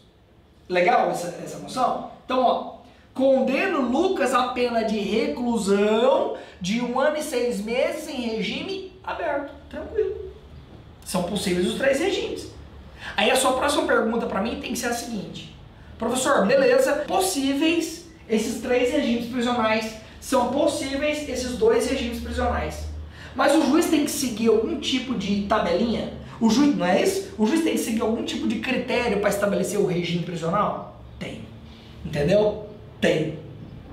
Então, estamos indo por partes. Primeiro você entender que são possíveis os três. O juiz tem alguma tabelinha para meter o aberto, o semi-aberto ou fechado? Tem. Entendeu? Qual que é essa tabelinha? Qual que é esse critério? Então, critério critério regime prisional. Legal? Então o juiz vai condenar o cara lá no final a um ano e seis meses, vamos supor. Mas é reclusão, não é? Puta, e aí? É aberto, semi-aberto ou fechado, já que pode ser os três? Essa é a minha questão. Qual que é a tabelinha? O código fala pra gente o que é. Sabe qual critério? Olha que interessante. Se a condenação do cara for superior a 8 anos, se a pena dele for mais que 8, tem que ser fechado. Entendeu? Então presta atenção. O homicídio tem a pena de reclusão de 6 a 20. Ó, 6 a 20. Se ele pega 8, 9, 10, é fechado. Condeno Lucas pelo homicídio a pena de reclusão de 12 anos em regime, tem que ser fechado. Porque é acima de 8. Entendeu? É assim que o juiz vai fazer a sentença. Ele calculou a pena, deu 9, então tem que ser fechado. Está no código. Se a pena é menos que 8 e mais que 4, corre Pode ser semi-aberto.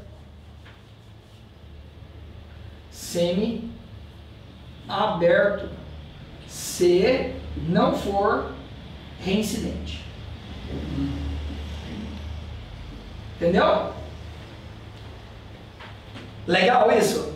Então vamos entender o seguinte: homicídio 6 a 20. Vamos supor que no cálculo da pena agora deu 6. 6 anos e 5 meses. Condeno o Lucas pelo homicídio.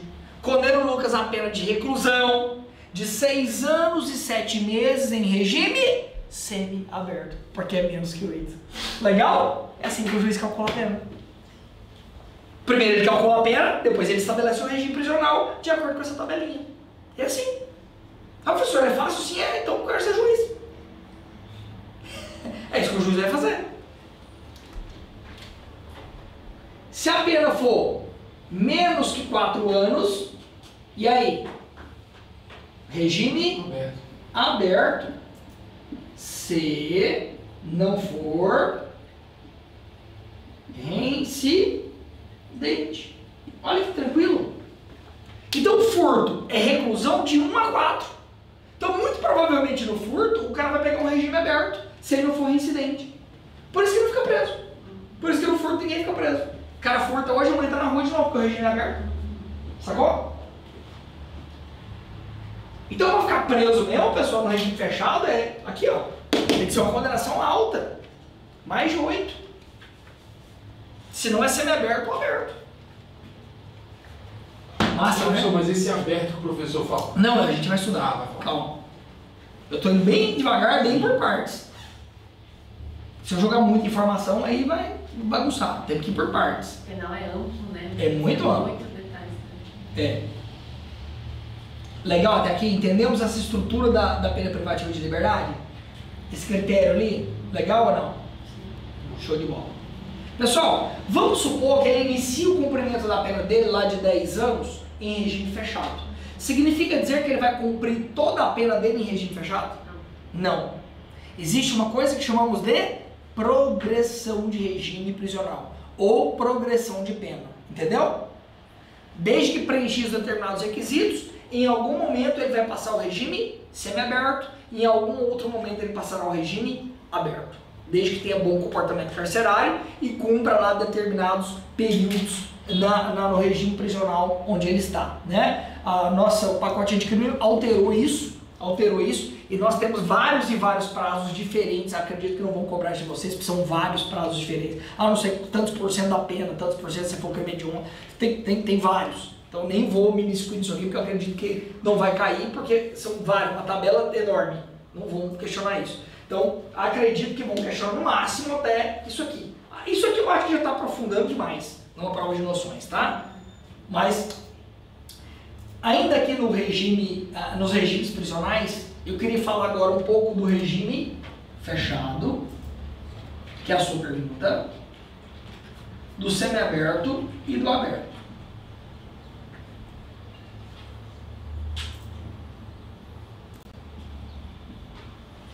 Beleza? Onde é que eu vou cumprir o regime fechado, já que eu fui condenado lá mais que oito anos? Onde é que eu vou cumprir o regime fechado? Penitenciário. Na lei está definido estabelecimento prisional de segurança máxima ou média penitenciária. Vamos cumprir na penitenciária.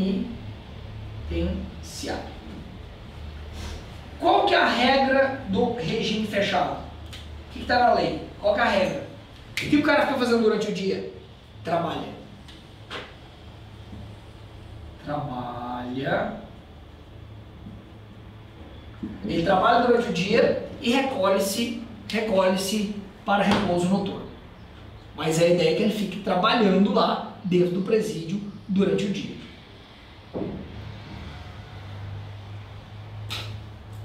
Esse trabalho do preso no regime fechado é um trabalho forçado? Não pode ser, né? É vedado na Constituição Federal o trabalho forçado, mas o trabalho é obrigatório. Sacou? Trabalho é obrigatório. Mas e se não tem o trabalho lá? Não, aí, aí é outra coisa. Mas o trabalho do preso é obrigatório. É obrigatório. Tá bom? Esse trabalho do preso é remunerado? Sim. Em pena, né? Remunerado. O trabalho é remunerado, tá? Nunca inferior a 3 quartos do salário mínimo. Então o trabalho é obrigatório, o trabalho é remunerado. O que mais?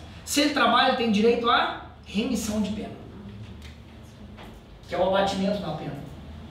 Remissão de pena. Esse remissão é do cedilha mesmo, tá? Não tá errado não. Remissão de pena. A cada três dias trabalhados, diminui a pena. Pessoal, essa remissão pode ser pelo trabalho ou pelo estudo. Tá? Remissão pode ser pelo trabalho ou pelo estudo. A cada três dias trabalhados, diminuiu a pena. A cada 12 horas de estudo, divididas em no mínimo três dias, diminui o dia de pena. Então, o trabalho é obrigatório, o trabalho é remunerado e ele tem remissão de pena. O trabalho externo é admissível? O trabalho externo é em serviços ou obras públicas. Trabe externo. Ok. Serviços ou obras públicas. Você vê, né? Podia pegar os caras tudo que tá no regime fechado e botar para trabalhar, capinar aí, né? Mas por que, que não faz isso?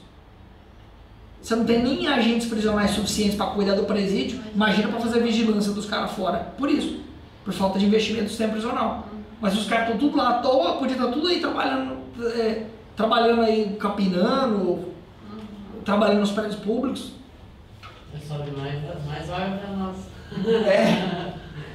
Beleza? O trabalho externo é admissível. Essas são as regras do regime fechado. E regime semiaberto? Pessoal, então cuidado. Que o regime semiaberto, o regime semiaberto da lei, não tem nada a ver com aquilo que a gente acha que é o regime semiaberto. Por isso cai na prova e a gente erra.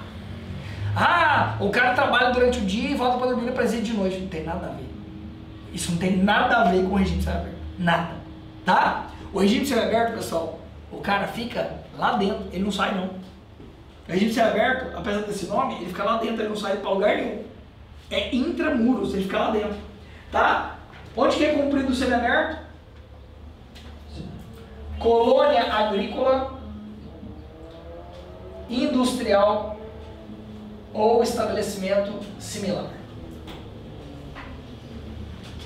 Colônia agrícola, eu tô falando, né, pessoal? Que não dando pra ler isso aqui, né? Tô falando, vocês vão captando aí, né?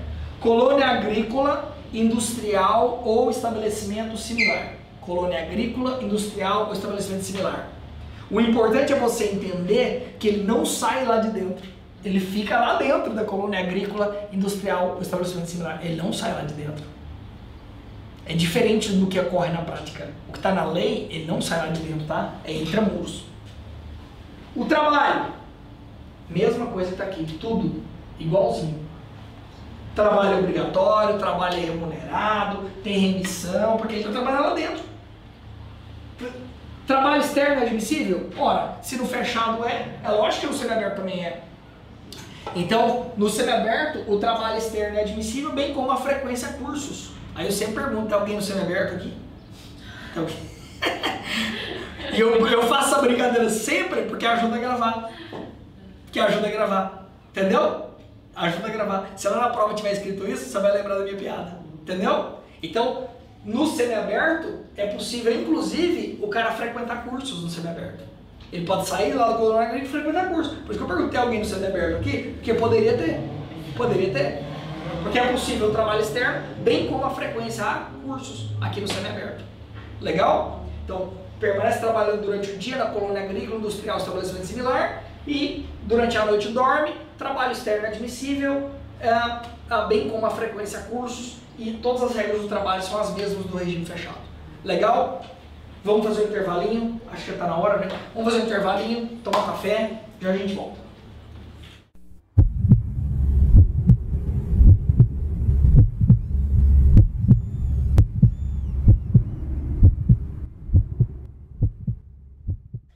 Fala pessoal, aqui quem fala é o Fábio Macedo, primeiro colocado no último concurso da Polícia Rodoviária Federal para o estado do Rio Grande do Sul.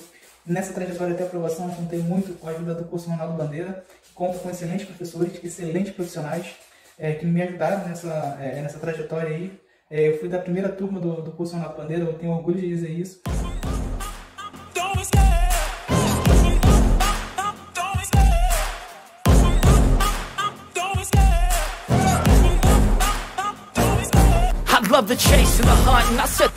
Meu nome é Roger, sou de Belo Horizonte, tenho 28 anos, é, atualmente aprovado nos cursos da PMDF, Polícia Federal e Rodoviária Federal. Now wake up! It's time to look at the enemy. Look in the mirror if he is no friend to me. It's not working out, maybe it's the chemistry. It's time to break up. So... Fala galera, beleza? Sou o Jefferson Mangue aqui, sou o terceiro colocado do concurso 2021 da PRF. All it takes is some time and some clarity to find your identity. It's mind over everything.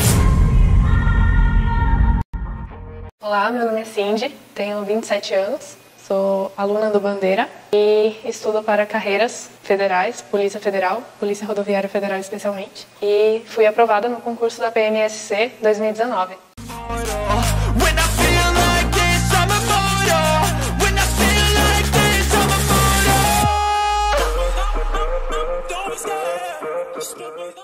Fala pessoal, meu nome é Diego, eu sou de Curitiba, Paraná e sou um dos aprovados do concurso da PRF.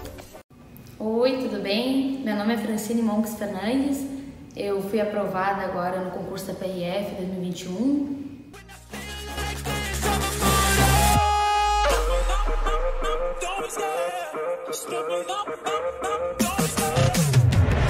É, e aí pessoal, meu nome é Caroline, Sou aluna do curso Ronaldo Bandeira aqui presencial. Estou estudando aqui desde maio desse ano, vim da Bahia, Feira de Santana, e entrei inicialmente para o curso de carreiras federais e nesse meio tempo tive a oportunidade de fazer o DEAP. É, comecei a me preparar aqui com o curso mesmo para o DEAP, o curso deu uma preparação incrível para esse concurso. Os professores em aula deram tudo que a gente precisou, chegou na prova tinha todos os assuntos que a gente teve em aula. Então foi essencial para o resultado que eu estou alcançando. Fiquei com nota relativamente boa. Estou bastante feliz com o meu resultado.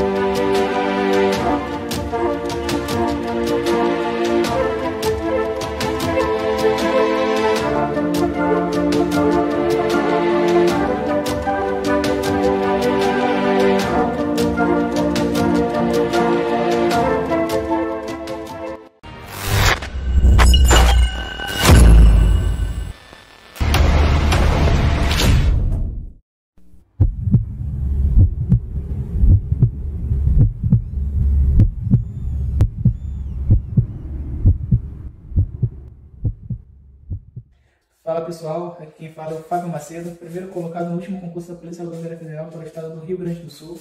Nessa trajetória até aprovação, contei muito com a ajuda do curso Ronaldo Bandeira, conto com excelentes professores, excelentes profissionais é, que me ajudaram nessa, é, nessa trajetória aí. É, eu fui da primeira turma do, do curso Ronaldo Bandeira, eu tenho orgulho de dizer isso.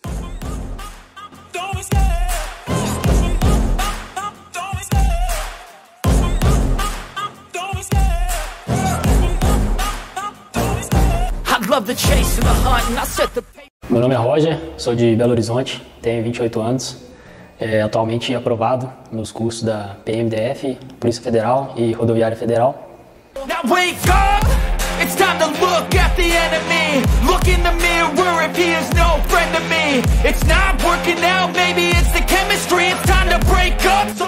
Fala galera, beleza? Sou o Jefferson Mangue aqui, sou o terceiro colocado do concurso 2021 da PRF. All it takes is some time and some clarity to find your identity. It's mind over everything. Olá, meu nome é Cindy, tenho 27 anos, sou aluna do Bandeira e estudo para carreiras federais, Polícia Federal, Polícia Rodoviária Federal especialmente, e fui aprovada no concurso da PMSC 2019.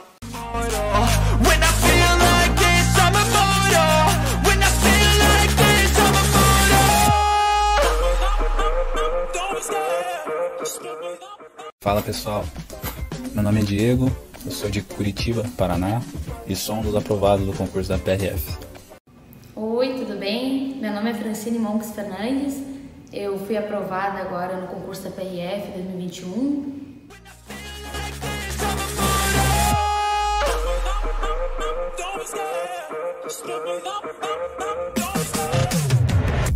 E aí pessoal, meu nome é Caroline, Sou aluna do curso Ronaldo Bandeira aqui presencial. Estou estudando aqui desde maio desse ano, vim da Bahia, Feira de Santana, e entrei inicialmente para o curso de carreiras federais e nesse meio tempo tive a oportunidade de fazer o DEAP. É, comecei a me preparar aqui com o curso mesmo para o DEAP, o curso deu uma preparação incrível para esse concurso. Os professores em aula deram tudo que a gente precisou, chegou na prova e tinha todos os assuntos que a gente teve em aula. Então foi essencial para o resultado que eu estou alcançando. Fiquei com nota relativamente boa estou bastante feliz com o meu resultado.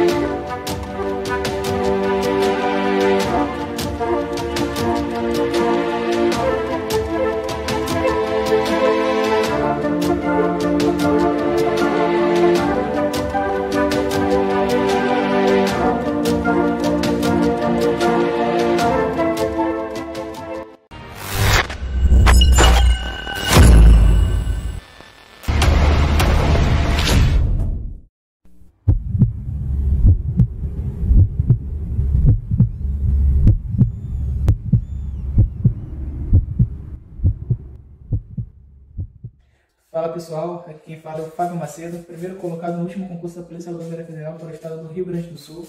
nessa trajetória até aprovação, contei muito com a ajuda do curso Ronaldo Bandeira, conto com excelentes professores, excelentes profissionais é, que me ajudaram nessa, é, nessa trajetória aí. É, eu fui da primeira turma do, do curso Ronaldo Bandeira, eu tenho orgulho de dizer isso.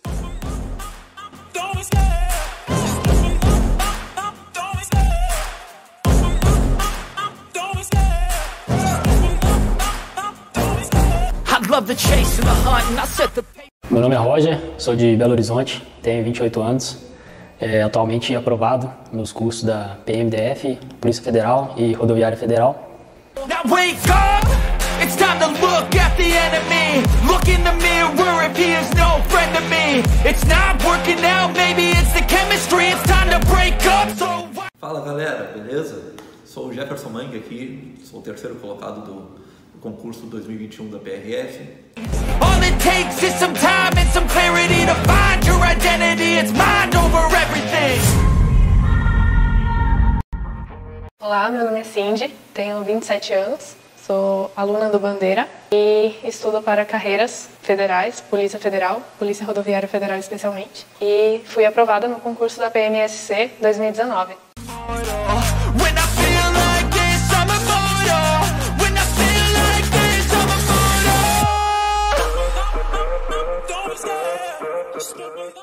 Fala pessoal, meu nome é Diego, eu sou de Curitiba, Paraná e sou um dos aprovados do concurso da PRF. Oi, tudo bem? Meu nome é Francine Monks Fernandes. Eu fui aprovada agora no concurso da PRF 2021.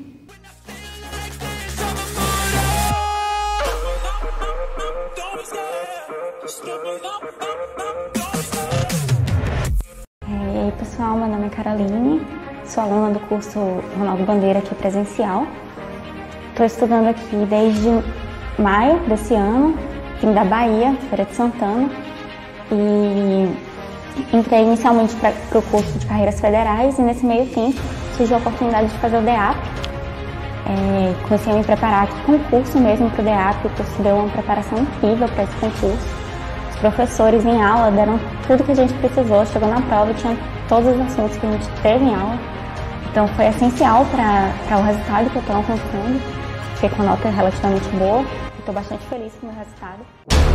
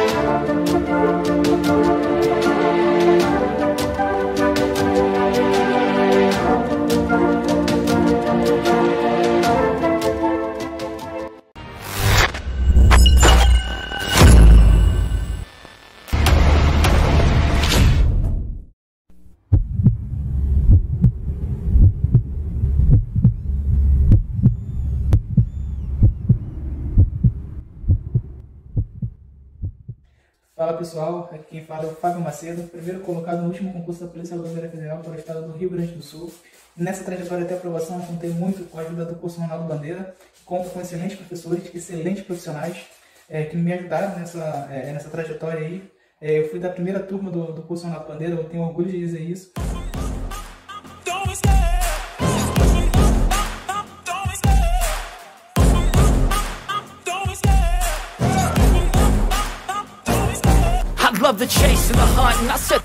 Meu nome é Roger, sou de Belo Horizonte, tenho 28 anos.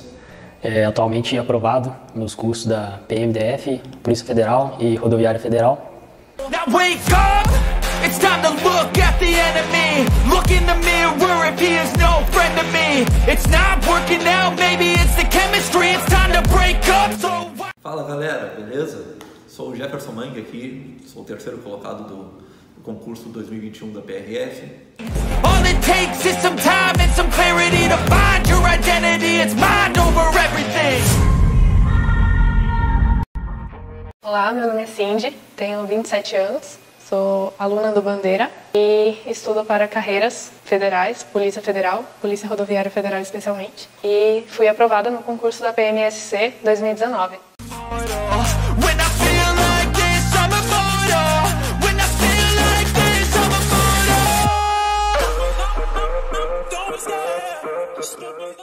Fala pessoal, meu nome é Diego, eu sou de Curitiba, Paraná e sou um dos aprovados do concurso da PRF. Oi, tudo bem? Meu nome é Francine Monks Fernandes, eu fui aprovada agora no concurso da PRF 2021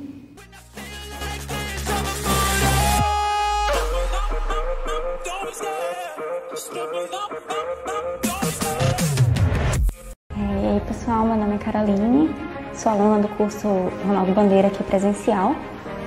Estou estudando aqui desde maio desse ano, vim da Bahia, Feira de Santana, e entrei inicialmente para o curso de carreiras federais e nesse meio tempo surgiu a oportunidade de fazer o DEAP. É, comecei a me preparar aqui com o curso mesmo para o DEAP, o curso deu uma preparação incrível para esse concurso professores em aula deram tudo que a gente precisou, chegou na prova tinha todos os assuntos que a gente teve em aula. Então foi essencial para o resultado que eu estou alcançando. Fiquei com nota relativamente boa estou bastante feliz com o meu resultado.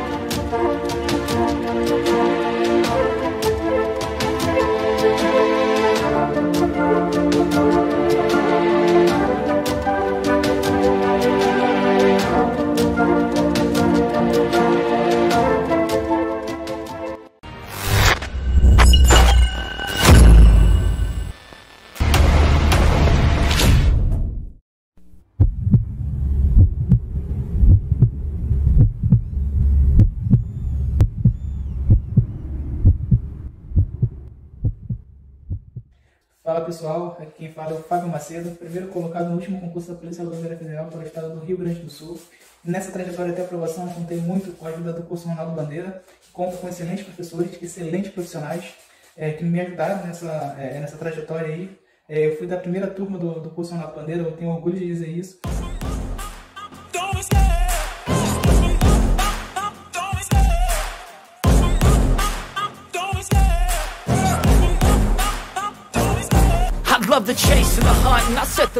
Meu nome é Roger, sou de Belo Horizonte, tenho 28 anos. É, atualmente aprovado nos cursos da PMDF, Polícia Federal e Rodoviária Federal. Now wake up! It's time to look at the enemy. Look look in the mirror if he is no friend to me. It's not working out, maybe it's the chemistry. It's time to break up. So Fala galera, beleza? Sou o Jefferson Mang aqui, sou o terceiro colocado do, do concurso 2021 da PRF. All it takes is some time and some clarity to find your identity. It's mind over everything. Olá, meu nome é Cindy, tenho 27 anos, sou aluna do Bandeira e estudo para carreiras federais, Polícia Federal, Polícia Rodoviária Federal especialmente, e fui aprovada no concurso da PMSC 2019.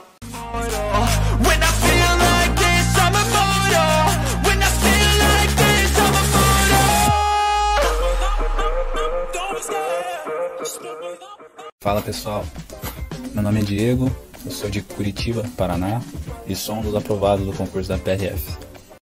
Oi, tudo bem? Meu nome é Francine Monks Fernandes. Eu fui aprovada agora no concurso da PRF 2021.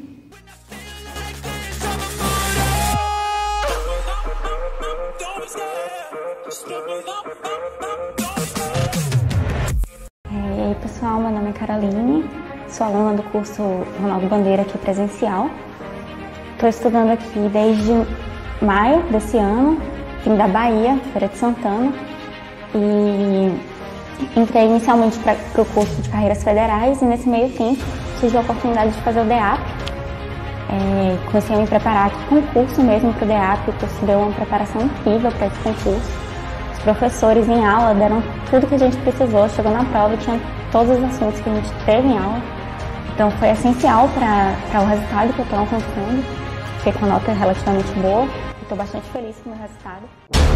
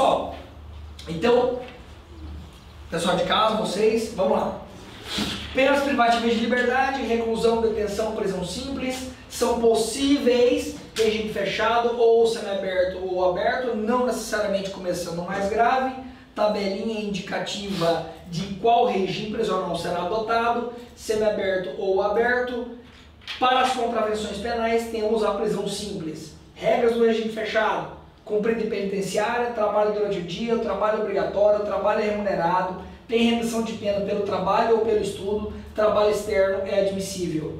Semiaberto: colônia agrícola, industrial ou estabelecimento similar lá dentro, não sai.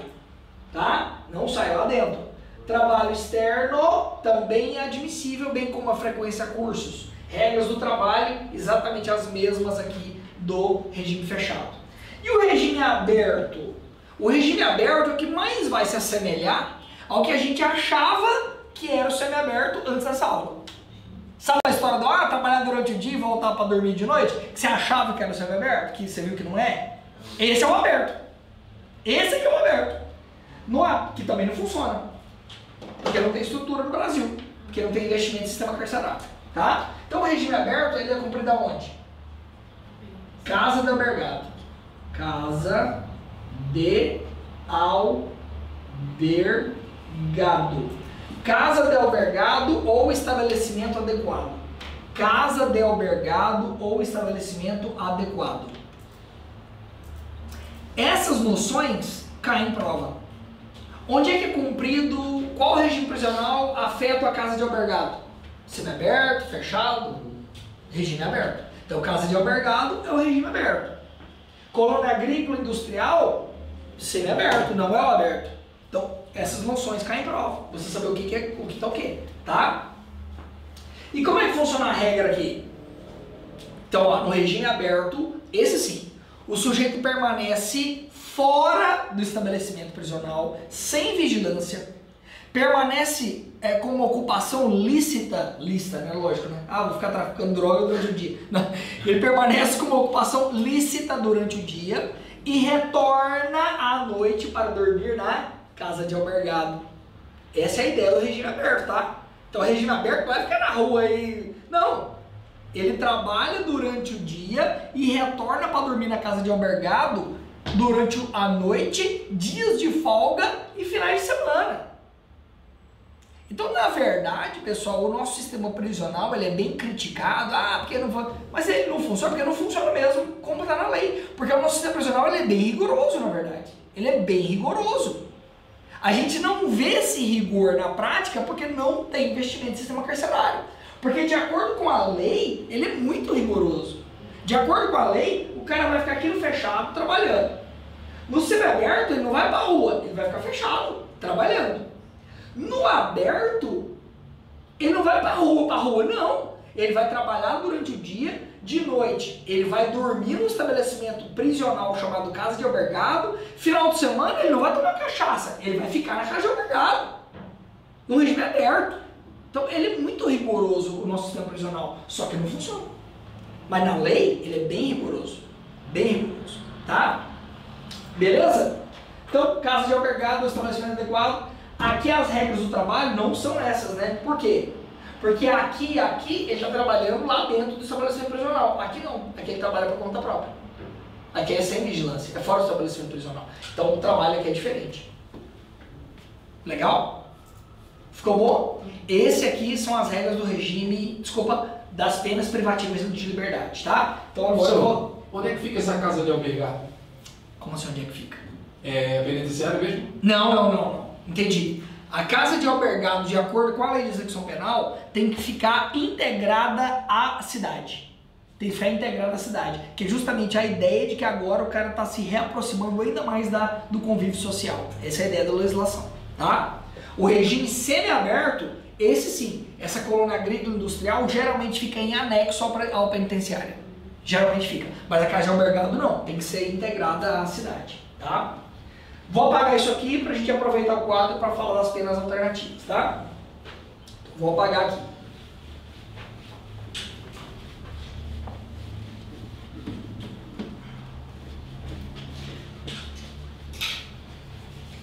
Vamos lá. Então, pena privativa de liberdade, ok. X. Penas restritivas de direitos. As penas restritivas de direitos também são conhecidas como penas alternativas. Tá? Por que, que elas ganham esse nome pena alternativa? Porque são uma pena alternativa à pena de prisão. Quando alguém, alguém comete um crime, o que, que a gente imagina na hora? Prisão. Pô, será que não tem uma outra forma, não? Será que não tem uma outra forma da gente reeducar esse infrator? Será que a única coisa que a gente consegue imaginar é pena de prisão? Será que não tem uma outra alternativa? Um pouco menos rigorosa? Temos as penas alternativas. Em vez de ser prisão, vão ter penas alternativas à pena de prisão, que são as penas restritivas de direitos. De direitos. Quais são elas? São cinco. Um, dois, três, quatro, 5. As penas alternativas são prestação de serviços à comunidade, perda de bens e valores, prestação pecuniária, limitação dos finais de semana, interdição temporária de direitos.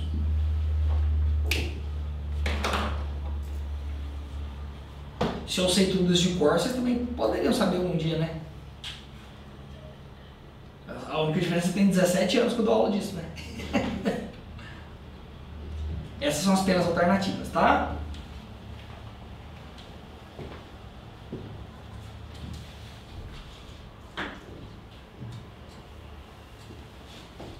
Prestação de serviço à comunidade, perda de bens e valores. Aqui vale os mnemônicos, né?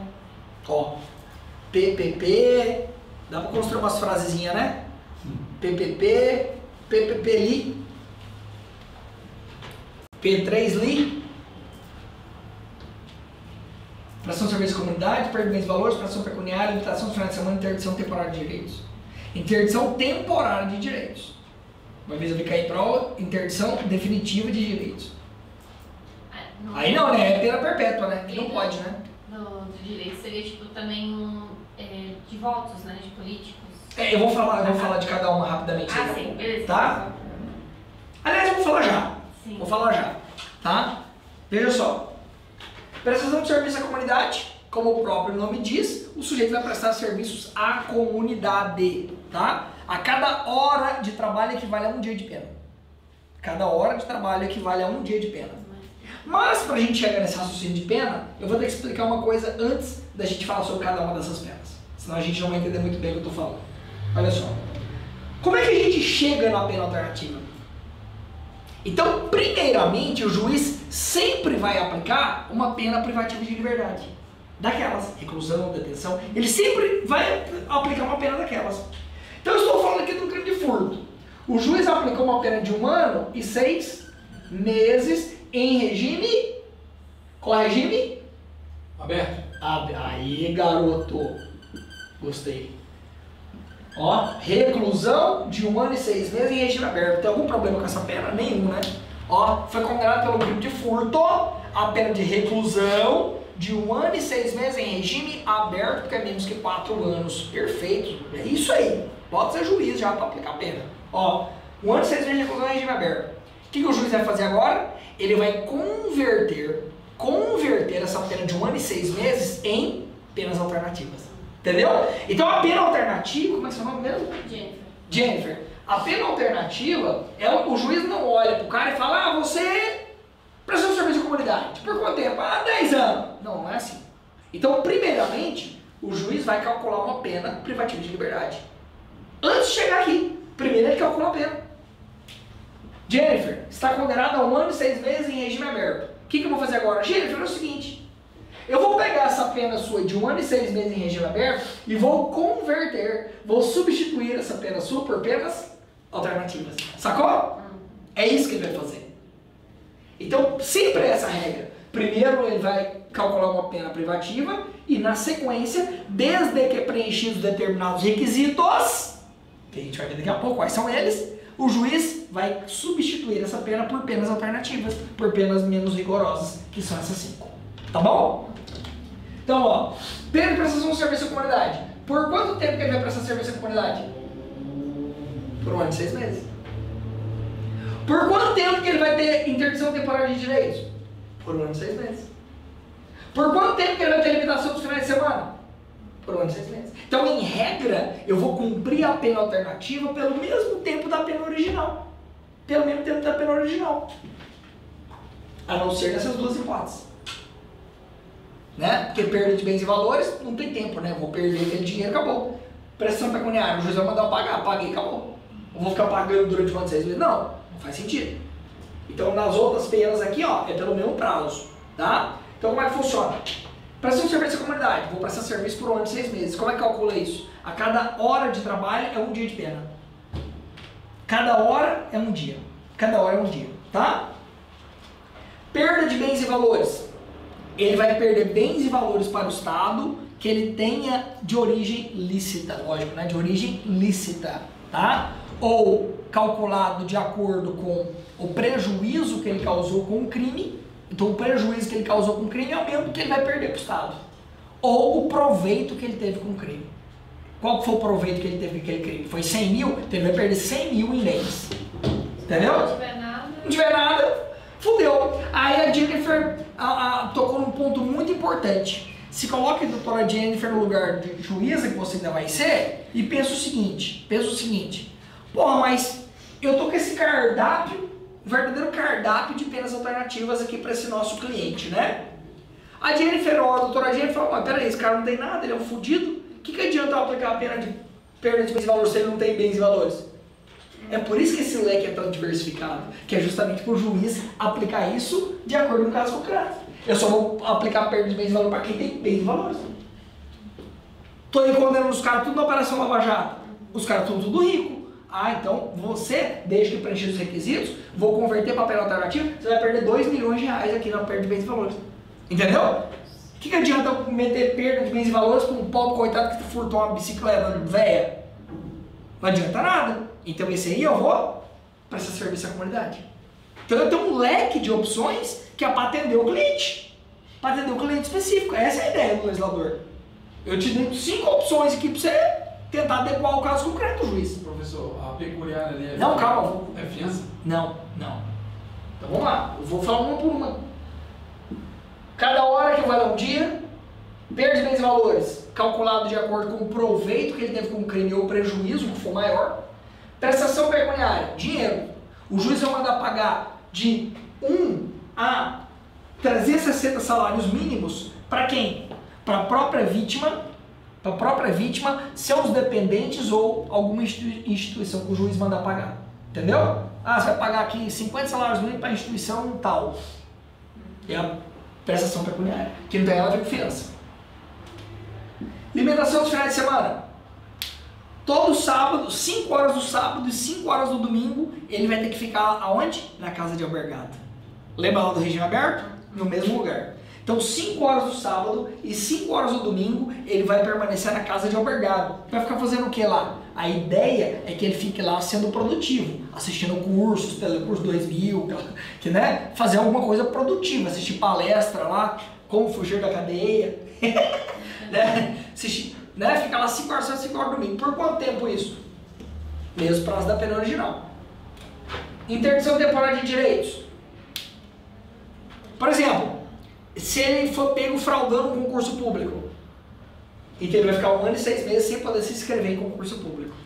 Né? Que é uma das penas é, restritiva de direito, aqui de interdição. Se for de mandato, mandato eletivo, ele vai ficar suspenso, então, por um ano e seis meses. É, é só quando é transitado em julgado que ele não pode voltar? voltar? Tipo, a pessoa que está no É, presídio? exatamente. Preso provisório pode, porque ele não tem suspenso os direitos políticos, tá? Mas o preso condenado não, esse tem suspenso os direitos políticos, tá? Entendemos mais ou menos as penas alternativas? Agora a minha pergunta é, vamos supor que ele está prestando serviço à comunidade bonitinho, um ano e seis meses, né? Durante um ano ele prestou serviço bonitinho. Um belo dia, ah, quero cumprir mais, não foda-se. O que acontece? Ele está descumprindo a pena alternativa, não tá? O que acontece? Então, ó, sempre que houver descumprimento de pena alternativa, o que, que o juiz faz? Volta para a pena original. Volta para a pena original. Entendeu? Descumpriu a pena alternativa? Volta para a pena original. Aí vai ter que fazer mais. Não, então aí que tá. Essa é a minha outra pergunta. Ah, Ele já cumpriu um ano, não já? Ele cumpre mais seis meses, só o restinho. Lá em regime aberto. Então, assim, ó, a regra é, descumpriu a pena alternativa, volta para a pena original, abate o tempo que ele já cumpriu lá na pena alternativa, porque afinal de contas ele cumpriu a pena. Ele cumpriu a pena, então não faz sentido ele cumprir de novo, se ele bis idem. Ou seja, dupla pena pelo mesmo fato. Sacou? Que legal? Sim. Então, assim, ó, tem que abater. Ele tem que abater essa pena, porque ele já cumpriu. Ele trabalhou durante um ano, que é a pena alternativa. Ma- Maravilha? Vamos lá. Quais são. Qu- Quantas são as penas que, que ele vai cumprir? Quantas? O juiz pode escolher, ah, você vai cumprir cinco, você vai cumprir só uma. Então tem, tem, uma, tem uma tem uma tabelinha aqui também. Se a condenação for mais que um ano, duas penas alternativas. Ou uma pena alternativa mais uma multa. Se for menos que um ano, só uma pena alternativa. Ou uma multa. Então, ó. Mais que um ano. Se for mais que um ano, duas alternativas ou uma alternativa mais mais multa. Menos que um ano, uma alternativa ou uma multa. Entendeu? Então, nesse caso aqui nosso, a Jennifer, ele foi condenado a um ano e seis meses em regime aberto. O juiz converteu? Converteu. É um ano e seis meses? Tem que ser duas. O juiz vai mandar, ó, eu quero que você preste serviço à comunidade e tem limitação dos finais de semana. Ou prestação de serviço à comunidade e uma multa. Porque tem que ser duas. É mais que um ano. Então esse é o critério da lei. Legal? A próxima pergunta agora é quais são os requisitos que eu preciso cumprir para ter direito à pena alternativa? Para ter direito a essa conversão? Será que cabe isso aqui para um homicídio, por exemplo? Será que cabe para um homicídio? Não. Então, então tem requisitos a ser cumpridos para o juiz poder fazer esse arrego para mim. Né? Quais são os requisitos, então, para eu ter direito a uma pena alternativa? Pena superior a 4 anos, né? Então, vamos lá. Então, quais são os requisitos para ter direito à pena alternativa? Então, ó, condenação, condenação não superior a 4 anos. Condenação não pode ser superior a 4 anos. 4 anos para baixo. Agora, pelo amor de Deus, hein? Um monte de aluno confunde esse tal do 4 anos com aqueles crimes de menor potencial ofensivo. E não tem nada a ver uma coisa com a outra. Beleza? Lembra? Crimes de menor potencial ofensivo. Até 2 anos. Até 2 anos. Não tem nada a ver com isso aqui. Confunde mesmo. Confunde. Eu sei que confunde. Por isso que eu estou alertando vocês. Não tem nada a ver crime de menor potencial ofensivo com esses 4 anos aqui. 4 anos, regra para converter para pena alternativa até dois anos são os crimes de menor proteção ofensiva. Tem nada a ver uma coisa com a outra. Mas o examinador sabe que a gente confunde esses dois com esses quatro. Por isso que eu estou aqui para alertá-los. Então, para ter essa conversão, a condenação não pode ser superior a quatro anos. Então, quatro anos para baixo. Ali pode, né? Um ano e seis meses. Até agora pode. Qual outro requisito que eu tenho que cumprir? Não cabe isso aqui para crime que tem violência ou grave ameaça contra a pessoa. Não cabe para crime com violência ou grave ameaça. Não cabe para crime que tem então um roubo, não cabe. Mesmo que a pena for menos que 4 anos. Uma tentativa de roubo pode ter a pena menos que 4. Mas não cabe. Mas não cabe.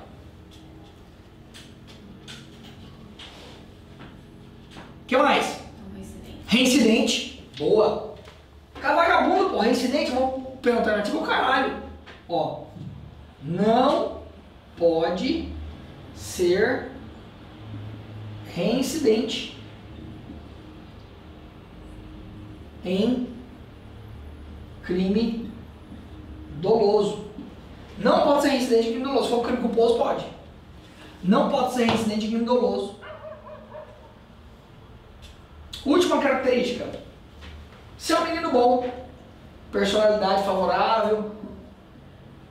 Personalidade, dade, conduta social favorável. Favoráveis. Pronto. Preencheu esses requisitos? Pode converter a pena para pena alternativa. Legal? Ficou bem claro que pena alternativa não está fixada na lei? Ah, para furto é pressão. Não. Para furto é reclusão. Só que se ele preencher requisitos, o juiz pode converter aquele furto para pena alternativa.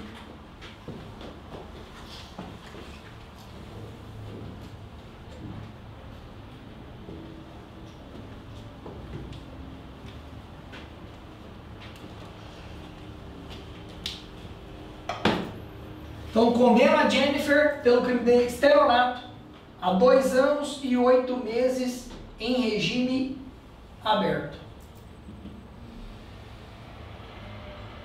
O que o juiz vai fazer agora? Analisar isso aqui. Estou condenando a Jennifer por estelionato. 171. Calculei a pena de dois anos e oito meses em regime aberto. E agora? Será que a gente pode converter essa pena de dois anos e oito meses em regime aberto, que ela iria cumprir lá na casa de albergado, né? Será que a gente pode converter essa pena dela para pena alternativa? Vamos ver. Dois anos e oito meses. Opa! Menos que quatro. Beleza. É crime com violência grave ameaça? Estelionato não é. Então cabe. Ela não é reincidente. Então cabe. Personalidade, conduta tranquilo. Então o juiz acabou de converter a pena da Jennifer. É na mesma sentença, tá? Na mesma sentença o juiz faz isso. E aí então ele vai e converte a pena em penas alternativas. Quantas? Quantas? Duas. Duas. Duas penas alternativas ou uma pena alternativa dessas mais uma multa. Sacaram? É assim que funciona a pena alternativa. Terminou de cumprir a pena alternativa bonitinho, acabou, cumpriu a pena, está extinta a punibilidade. Maravilha. Show de bola.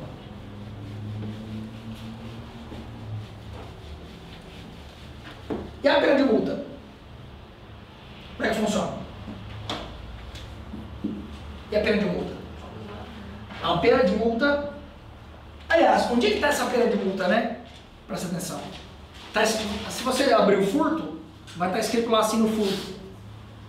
Subtrair para seu para outra coisa ali móvel. Aí tá lá, pena, que é a nossa matéria. Pena, reclusão de 1 um a 4 anos e multa. Essa é a multa aí. Reclusão de 1 um a 4 anos e multa. Então a gente percebe claramente que para o crime de furto, o juiz escolheu dois tipos de pena. Ou, desculpa, o legislador escolheu dois tipos de pena, né? Olha aqui, ó. Reclusão de 1 a 4 anos e multa. Ou seja, o juiz escolheu, o juiz, o legislador escolheu dois tipos de pena para o crime de furto. Concorda? Porque quais são as espécies de pena aqui, ó? Privativa de liberdade, restivo de direito e pena de multa. Privativa de liberdade. Tá aqui, ó. Reclusão de 1 a 4 anos. Multa. E multa. Legal? Então, para o crime de furto, o nosso legislador escolheu dois tipos de pena. E como é que funciona essa multa? A privativa de liberdade já vimos. Que esse aqui, ó, reclusão de 1 a 4 anos, já vimos as regras. Pode ser regime aberto, semi-aberto, fechado, papai, no caso que provavelmente será aberto, se ele não for incidente. Então ele vai pegar aqui uma reclusão de um pouco, de, de um ano e, se for primário, tudo, vai pegar perto do mínimo, um ano e pouquinho aqui, de reclusão em regime aberto. O juiz, então, nessa parte, vai converter essa pena para penas alternativas. Mas eu tenho a outra parte. E a outra, como é que eu vou fazer? Então, o juiz vai, na parte da pena privativa, vai converter para prestação de serviço de comunidade, pá, pá. E na parte da multa? É outra pena. Como é que aplica essa multa? Então, vamos lá. A pena de multa é fixada em dias multa. A pena de multa é fixada em dias multa. Dias multa.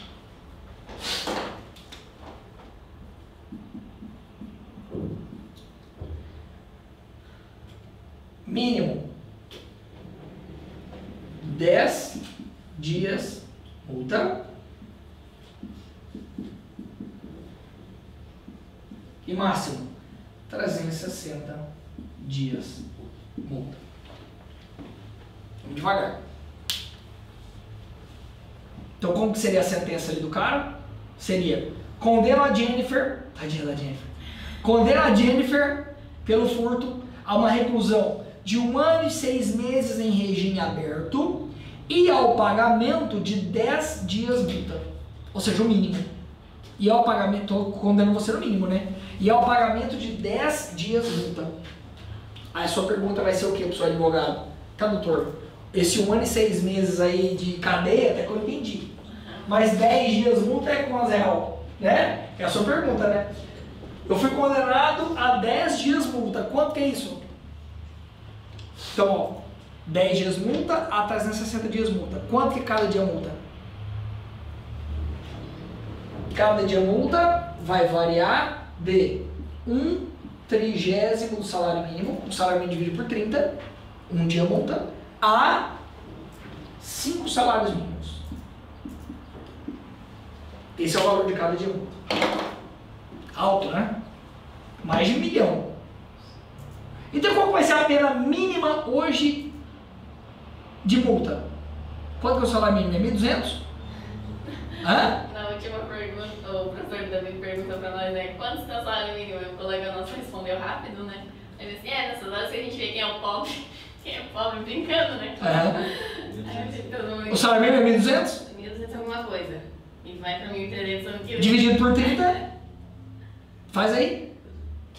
Vamos ver, vamos ver qual é a pena mínima de multa hoje no Brasil.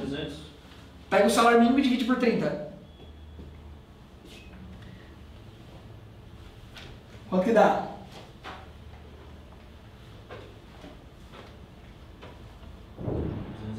Hã? 1.212 o salário. Tá, divide por 30. 40 e 40. 40 e 40 vezes 10. 400. Então 400. né? Então concorda comigo que a pena de multa mínima no Brasil hoje é essa? 400 reais. Que seria 10 dias multa, cada dia multa valendo um trigésimo do salário mínimo. Então o cara seria condenado aqui no mínimo, a pena mínima da mínima do furto seria um ano de reclusão em regime aberto e ao pagamento de 400 pila. Entendeu? Que seria 10 dias multa, cada dia multa valendo um trigésimo. E o pena máxima? Agora fodeu, hein? 5 salários mínimos. Faz aí 1.212 vezes 5. 6.060. Vezes 360.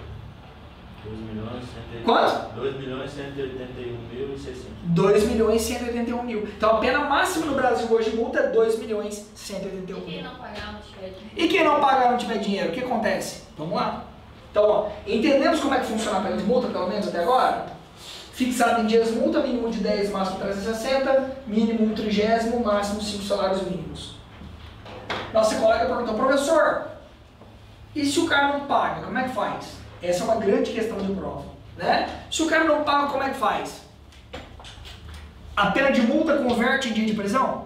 Porque eu, sou, eu, eu fui condenado a 30 dias de multa. Não paguei. Vira prisão? Vira 30 dias de prisão? Então, como é, ou seja, que que funciona, como é que funciona então esse não pagamento, tá? Primeiro, né, Jennifer? Qual que é o prazo que eu tenho para pagar? Qual que é o prazo para pagar a multa? Depende da pena. até, até 10 dias após o trânsito em julgado.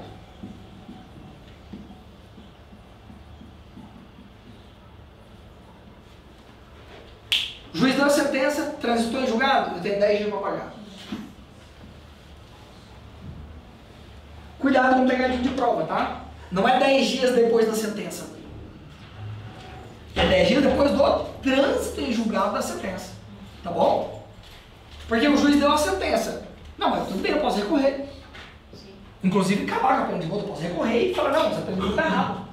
Então, é, deu trânsito em julgado? Ah, então acabou. Acabou o recurso, eu tenho 10 dias para pagar. Tá? Então, 10 dias após o trânsito em julgado de sentença. Deu os 10 dias do trânsito em julgado, não paguei. E aí? Que é a sua pergunta. Não paguei. E aí? Não paguei, e aí? Então, anote, ó. A pena de multa é considerada dívida de valor, ou seja, tem natureza civil, tá? A dívida de multa é considerada dívida de valor, tem natureza civil. Ela é executada nos mesmos moldes da execução fiscal, da execução fiscal. Pessoal, cê- como assim? Você não pagou o IPTU da sua casa, você vai preso? Não. O que, que o Estado vai fazer? Te processar, vai? Mesma coisa aqui. A pena de multa segue. Você não pagou o IPVA do seu carro. O que, que vai acontecer? O Estado vai te processar. Mesma coisa aqui da multa. O Estado vai te processar pra você pagar a multa. Vai piorar bem. Mesma coisa do, do IPVA do seu carro. Entendeu? Mesmos moldes de execução fiscal. Então, quer anotar alguma coisa? Não paguei? Mesmos moldes de execução fiscal. Bota aí, o Estado vai cobrar. O importante é você lembrar que não converte em pena de prisão. Que é isso que, que, é, que a, a pegadinha, entendeu? Isso aqui não vira pena de prisão, tá?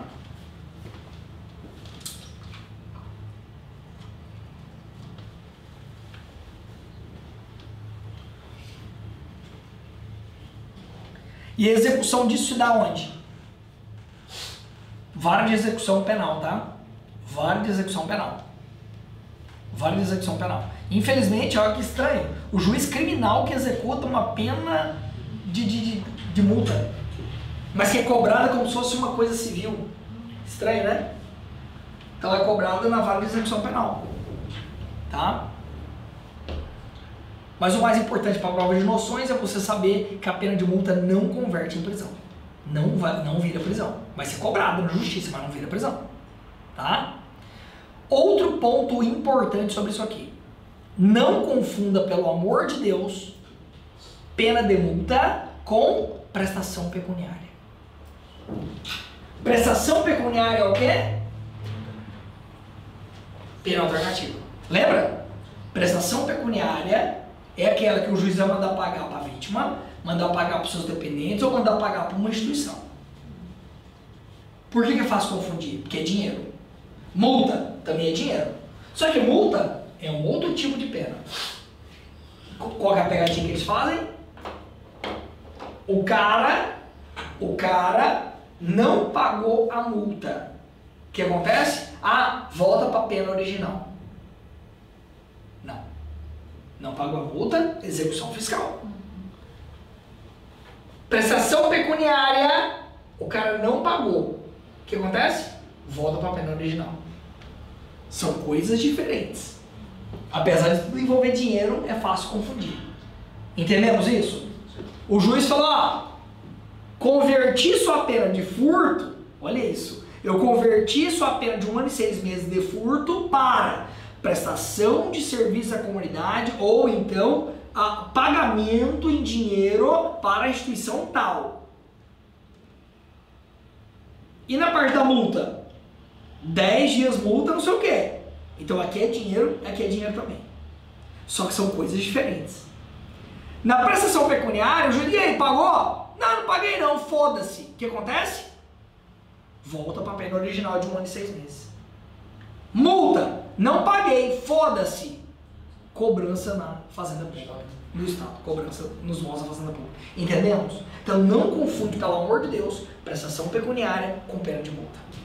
Eu me lembro bem que uma vez a minha cunhada era advogada criminalista, ela me ligou uma vez, eu já era professor há muitos anos atrás, ela me ligou e falou assim, Angelo, tem um cliente meu que, que o juiz mandou ele pagar um valor na sentença. Ele não está querendo pagar não. O que acontece com ele se ele não pagar? Qual foi a primeira pergunta que eu fiz para ela? Eu falei, ó, precisamos entender esse pagamento é o quê? Nós precisamos entender o que, que é que o juiz mandou ele pagar. Isso é o quê? É uma prestação pecuniária ou isso é uma pena de multa? Porque é tudo dinheiro. Mas se for prestação pecuniária, é pena alternativa. Aí é uma outra consequência. Se for uma pena de multa, também é dinheiro. Se ele não pagar, é uma outra consequência. Então ela só me informou o seguinte, ó, o juiz mandou ele pagar. Se ele não pagar, acontece o quê? Depende. A gente está falando de multa ou estamos falando de pena alternativa? Conseguiu visualizar isso?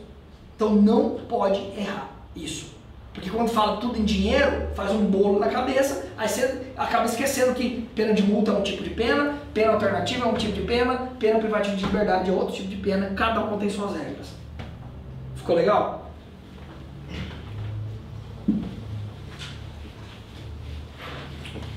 Show de bola, hein?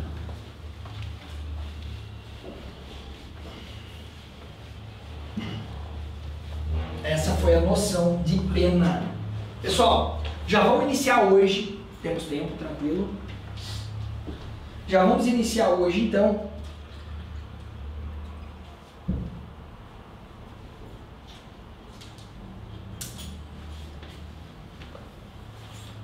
A parte especial. Vamos iniciar já a parte especial do nosso Código Penal. Vamos tratar agora dos crimes, tá? Tá bem claro lá no nosso, no nosso edital, tá bem claro no nosso edital, crimes contra a pessoa, crimes contra o patrimônio, crimes contra a administração pública, que são é, realmente o mais importante para o nosso concurso, tá?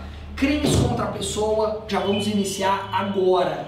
Crimes contra a pessoa, está lá do artigo 121 ao artigo 154 do nosso Código Penal. Crimes contra a pessoa, 121 ao 154. Logicamente que não estudaremos todos, estudaremos os principais que caem em prova, tá? Já começando nos crimes contra a pessoa, já vamos começar pelos crimes contra a vida. Crimes contra a vida. Os crimes contra a vida estão no artigo 121 ao 128 do Código Penal. E aqui, só aqui, já tem uma questão de prova. Quais são os crimes contra a vida? Então, quais são os crimes contra a vida? Então, vamos lá. Homicídio. O que mais? Participação em suicídio. O que mais? Infanticídio. O que mais? O que mais? Aborto. Esses são os crimes contra a vida. Só esse, professor? Só. E feminicídio? Então vamos chegar lá. O feminicídio não é um crime específico, é uma qualificadora do homicídio. Entendeu? Então feminicídio é homicídio. Então, os crimes contra a vida são esses aqui: homicídio, participação em suicídio, infanticídio e aborto. Esses são os crimes contra a vida.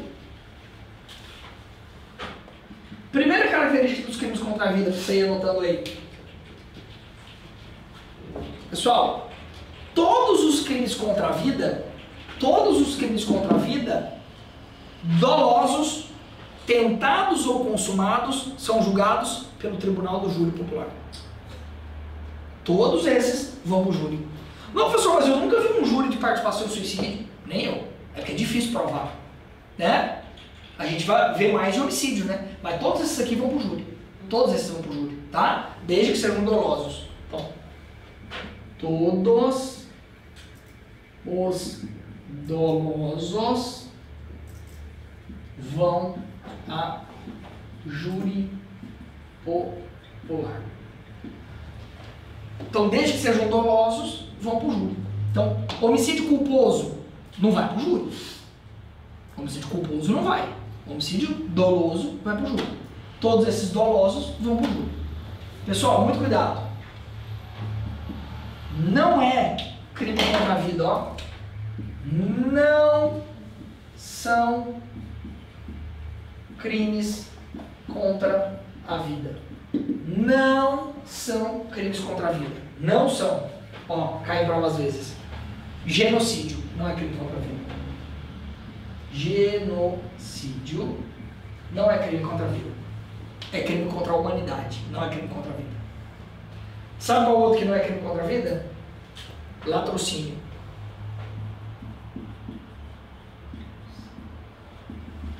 Latrocínio não é crime contra a vida, é crime contra o patrimônio apesar de ter alguém morto.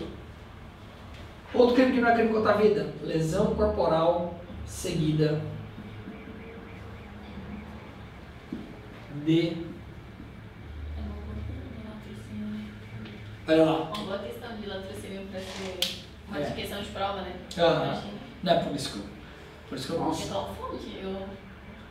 Latrocínio ia perder, tá? É. errar isso aqui. É. Não é por isso que eu tô aqui. Não, não, sim. E a gente também. É, nós também. Então, beleza? Esses são os crimes contra a vida. Isso aqui não é crime contra a vida. Tá? Então, latrocínio tem alguém morto, mas é crime contra o patrimônio. A morte é uma consequência. Genocídio não é crime contra a vida. Lesão corporal seguida de morte também tem alguém morto, mas é um crime contra a integridade física. A morte é uma consequência. Tá? Então, crimes contra a vida, só esses aqui, tá? Homicídio, participação em suicídio, infanticídio e aborto. O resto ali não é crime contra a vida, não é julgado pelo tribunal do júri. Mas é latrocínio é julgado pelo juiz, normal.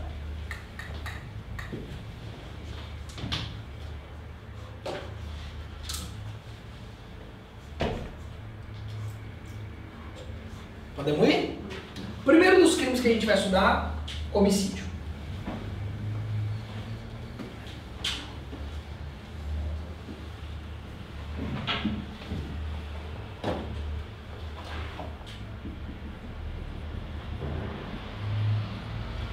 Está definido lá no 121. Matar. Matar alguém. Tá bom? Quando é que eu considero que está consumado o crime de homicídio? Quando eu mato alguém. E quando é que eu falo, não, agora morreu, está consumado? Morte cerebral.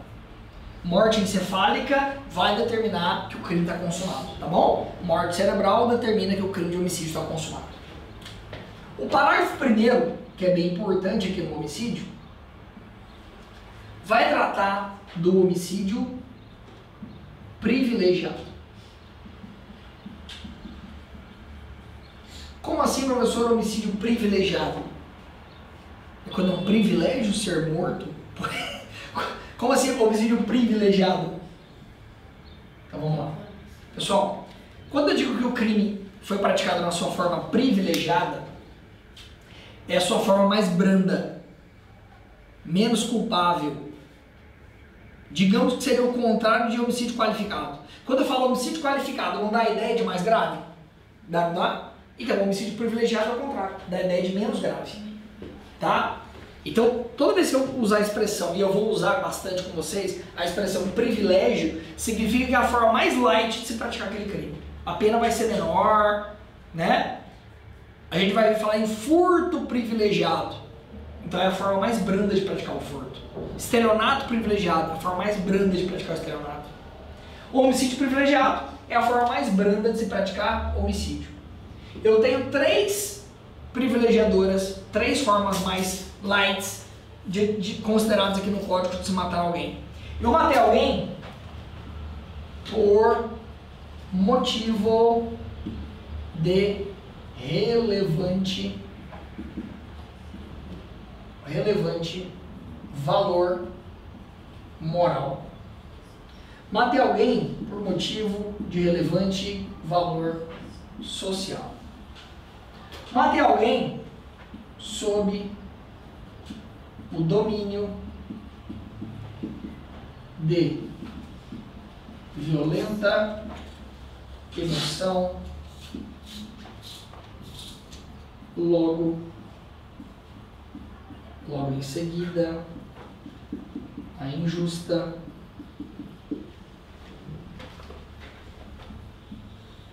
provo, provocação.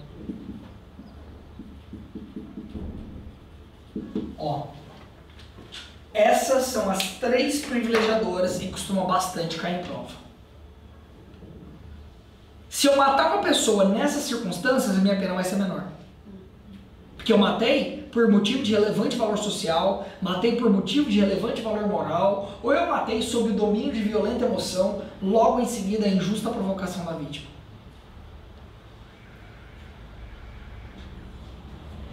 Essas são as três privilegiadoras aqui do crime de homicídio. Tá? Dezembro, professor. Olha só. Matei por motivo de relevante valor moral. A gente vê muito isso em filme. Relevante valor moral é aquele que está ligado ao sentimento particular de quem mata. Minha filha chegou em casa chorando. Eu acabei de descobrir que ela foi estuprada. Que? Saí na caça do cara. Saí na caça do cara. Achei o cara, matei o cara. Entendeu? Não tem legítima defesa, não tem nada. Mas vamos dar um desconto pra mim, né? Matei por motivo de relevante valor moral. Um sentimento particular meu. Um sentimento que a gente diz como legítimo, digamos assim. Mas eu vou responder por crime, né? Mas vou ter um arregozinho, né? Acontece muito em filme, né? Começa a primeira cena do filme, começa mostrando o bandido lá matando a família inteira do, do cara, né? Aí o cara passa o filme inteiro caçando os, os caras que mataram a família dele, né? Quando ele acha os caras e mata todo mundo, o que é, que é isso? Tá matando por relevante valor moral. Relevante valor moral. Esse é o relevante valor moral. Ou tô matando por motivo. Tá vendo que, como é que merece uma pena menor? A gente entende que é menos culpável porque ele teria um motivo relevante. Relevante valor social. O cara matou por motivo de relevante valor social, um valor que é interessante para a vida em sociedade. Um exemplo claro que nós temos disso, sabe o que é? O justiceiro. O cara bota lá, é, vai na polícia, ah, estão tendo traficante de droga lá no meu bairro, doutor, não estou aguentando mais. Não, a polícia não faz nada. E vai na PM, a PM não faz nada. Vai na Guarda Nacional, guarda, ninguém faz nada. As autoridades não fizeram nada. Um belo dia ele estressa, compra uma arma, mete o pé no barraco lá, mata os traficantes tudo. Só que tudo não foi legítima defesa, não foi nada. Os traficantes estavam tudo lanchando lá, tomando cerveja. Matou todo mundo. Entendeu? E aí, lá no bairro dele? Todo mundo feliz da vida que ele matou os caras. Mas, porra, não tem legítima defesa aqui, não tem. E aí, como é que faz? Vamos dar um desconto pra ele, né? Ele vai responder por homicídio, pessoal. Mas, porra, matou por motivo de relevante valor social, em razão da segurança pública. Né? Um desconto pra ele. Ou ele matou sob o domínio de violenta emoção, logo em seguida a injusta provocação da vítima. Tá? Geralmente isso que a gente vê muito em crimes passionais. Em crimes passionais. O sujeito chega em casa lá, pega a mulher traindo, ou o contrário, a mulher chega em casa, pega o cara traindo, a mulher vai, pega a faca, mata todo mundo. Sob domínio de violenta emoção. Né? Vamos dar um desconto pra ela, né? Vamos dar um desconto pra ela, desfaqueou o marido. Vamos dar um desconto pro cara, vamos dar um desconto, né? É isso. Tá? Muito cuidado aqui, ó. Matou sob o domínio de violenta emoção. Eu disse que matou sob o domínio. Porque tem uma pegadinha de prova que é matar por influência. De violenta emoção. Matar sob o domínio de violenta emoção é diferente de matar por influência de violenta emoção. Entendeu? Para ser privilegiador do homicídio tem que ser sob o domínio. Por influência, atenuante de pena. Mas não, é, não entra aqui. Alguém falar? É. Não, não, é porque assim, ó, não é alguém falar, pode ser também. Mas quando a gente fala sobre o domínio de violenta emoção, sobre o domínio de violenta emoção, dá a ideia de imediatismo. É na hora. Na hora.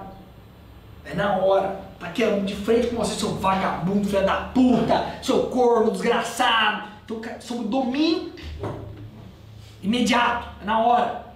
É diferente de pôr influência de violenta emoção. Que o cara xingou, não sei o que, você vai ver, o cara nervoso vai lá, vai na casa dele, pega a arma, volta. É diferente. Agora foi por influência de violenta emoção, mas não é sobre domínio, não é na hora. É mais ou menos essa a diferença do por influência e sobre domínio. Sobre domínio é na hora, imediato. O cara tá tomado de raiva na hora do negócio. Então tem que ser sobre o domínio de violenta emoção. Sabe qual outra pegadinha que tem aqui? Logo em seguida a injusta provocação. Eles vão trocar provocação por agressão. Logo em seguida a injusta agressão da vítima. É provocação. Não tem agressão. Sabe por quê? Porque se tiver agressão, o que, que eu tenho aqui? Legítima defesa.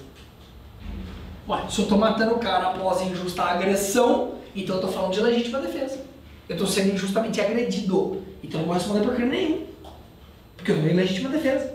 Então é injusta provocação e não agressão. Você está aqui discutindo comigo, você falou, pô, você pegou minha mulher. Você veio todo nervoso pra cima de mim com faca, pegou minha mulher, seu filho da puta. Aí eu, peguei mesmo, seu corno, seu corno do caralho. Perceba, eu não agredi ele, eu provoquei. É diferente, entendeu? Ele tá me matando agora após injusta provocação e não é agressão. Se ele vai lá pra cima e eu dou um soco nele, aí é agressão. Aí ele pode estar tá falando legítima defesa, entendeu? Aqui não, não é agressão, foi provocação. Ih, calma aí, seu corninho de merda. Comi mesmo, comi sua mulher, seu corninho de merda. Então, sob o domínio de violenta emoção, logo após a injusta provocação minha, vai me esfaquear. Entendeu? Vou dar um desconto pra você. Eu mereci uma facada mesmo. merecia, mereci, né? Ó, mereci. Então você, sob o domínio de violenta emoção, após a injusta provocação, me matou. Entendemos aqui? Que a gente vai dar um desconto pra você? Faz sentido esse desconto? Faz, né? Provocando o cara, seu corninho de merda, é foda, hein? Mas tudo bem, né? Não, não, também não vamos isentar a pena de você, né? Não, vamos, não justifica você me matar, né? Mas, dentro do homicídio, vamos dar um desconto. Essa é a ideia do legislador, né? Não justifica você ter me matado, né? Porque eu te chamei de corno. Ah, não, então chamando de corno agora pra matar os outros? Não. Mas, porra, tendo em vista que foi essa injusta provocação e etc., vamos dar um desconto para você dentro do homicídio. Essa é a ideia do legislador. Tá? Então, vamos lá? São três privilegiadoras no homicídio. Matei por motivo de relevante valor moral, relevante valor social ou sob o domínio de violenta emoção, logo em seguida a injusta provocação da vítima. Show de bola? No parágrafo segundo, no parágrafo segundo do nosso CL21, eu tenho o contrário, que são as formas qualificadas do homicídio. Né? Enquanto que no parágrafo primeiro eu tenho as privilegiadoras, que é a forma mais branda, com redução de pena. Aqui no parágrafo segundo eu tenho as formas qualificadas de homicídio. Qualificadas. Tanto que a minha pena do homicídio simples é de 6 a 20 anos. 6 a 20. Nas formas qualificadas é de 12 a 30. Entendeu? Porque é mais grave. Então, homicídio simples 6 a 20, qualificado 12 a 30, porque é muito mais grave. E nós temos lá uma série de qualificadoras aqui no homicídio. O cara matou, eu vou, eu vou destacar só algumas delas que eu acho que são as mais importantes para cair na nossa prova, tá? Então, ó, vou falar todas, mas vou trabalhar só com algumas mais detidamente. Então, matei o sujeito mediante pago ou promessa de recompensa ou outro motivo torpe. Motivo torpe é motivo nojento, motivo abjeto, repugnante. Pô, eu matei a pessoa, matei meu irmão para ficar com herança só para mim. Suzane Richthofen matou os pais para ficar com herança. Motivo torpe, motivo repugnante. Esse é o motivo torpe. Homicídio qualificado, 12 a 30 anos. Então, motivo torpe. Matei por motivo torpe, mediante pago ou promessa de recompensa, ou outro, é, recompensa para matar alguém. Né? Motivo repugnante. O que mais? Matei por motivo fútil. Motivo fútil, motivo completamente desproporcional. Matei o cara porque ele me fechou no trânsito, deu um tiro nele. Né? Vamos dar porta de arma para todo mundo. Vamos ter homicídio fútil todo dia na, na rua. Imagina todo mundo com arma do carro. Homicídio qualificado por motivo fútil, motivo insignificante. O cara tomou uma fechada ali do, do motoqueiro e meteu um tiro no cara. Motivo completamente insignificante. Motivo torpe, motivo fútil. que mais? Matei com emprego de veneno. Veneno. Fogo, explosivo, asfixia, tortura ou outro meio insidioso ou cruel ou de que possa resultar perigo comum. Tá? Pessoal, tudo que eu tô falando aqui está no código, então é muito importante vocês aqui, vocês em casa, tá com o código aberto. Eu sei de cor, tá? Eu não preciso. Ó, então vocês têm que acompanhar. Então, matei com emprego de veneno, fogo, explosivo, asfixia, tortura ou outro meio insidioso ou cruel ou de que possa resultar perigo comum. Aqui eu chamo a atenção da tortura. Muito cuidado com a tortura. Principalmente cai na prova da polícia, né? Eles acham que a gente tortura todo mundo. Então, então ó, tortura. Estou falando aqui do homicídio qualificado por tortura com pena de 12 a 30 anos. A gente tem que tomar muito cuidado porque eu tenho uma lei específica de tortura. Eu tenho uma lei específica de tortura, a Lei 9.455, que trata da, dos crimes de tortura. E lá na tortura, eu tenho o crime de tortura seguida de morte. Lá na lei de tortura, eu tenho um crime específico, que é o crime de tortura seguida de morte. Então eu te pergunto, qual a diferença da tortura seguida de morte para o crime de Homicídio qualificado pela tortura. Nos dois, eu tenho uma pessoa torturada morta. Só que isso aqui é um crime, isso aqui é outro. Interessante? Qual a diferença dos dois crimes? Da tortura seguida de morte, que inclusive tem a pena máxima de 16 anos, para o crime de homicídio qualificado pela tortura, que tem a pena de 30 anos. São dois crimes diferentes. Sim. Qual a diferença? Sabe qual é? No homicídio qualificado pela tortura, eu tenho dolo de matar. Eu já queria matar o cara e vou torturar ele até matar. Mas eu já quero matar ele. Eu vou torturar você até te matar. E no crime de tortura seguida de morte? Eu não quero morrer, eu não quero matar. Eu só quero torturar. A morte é uma consequência. Puta, o cara morreu. Puta que pariu. Torturamos tanto que ele morreu. Entendeu?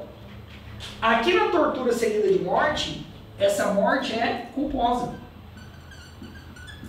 Entenderam? Imagine você que policiais começaram a torturar o cara, mas os policiais não querem matar o cara. Eles só querem informação. Mas eles torturaram tanto o cara que o cara acabou morrendo. Tanto caras, puta que pariu, matamos o cara. A gente não queria matar o cara.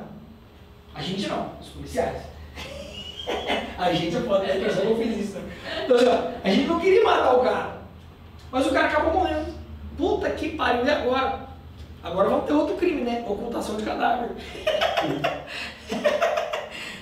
então nós tivemos aqui um crime de tortura seguida de morte mais ocultação de cadáver. Vamos esconder o cara agora. Mas conseguiram compreender a diferença? Homicídio qualificado pela tortura. Queremos matar.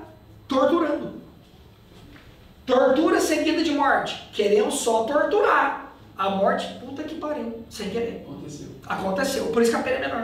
Por isso que a pena é menor no crime de tortura seguida de morte. Tá? Então, maravilha. Essa é uma qualificadora que eu queria chamar a atenção de vocês.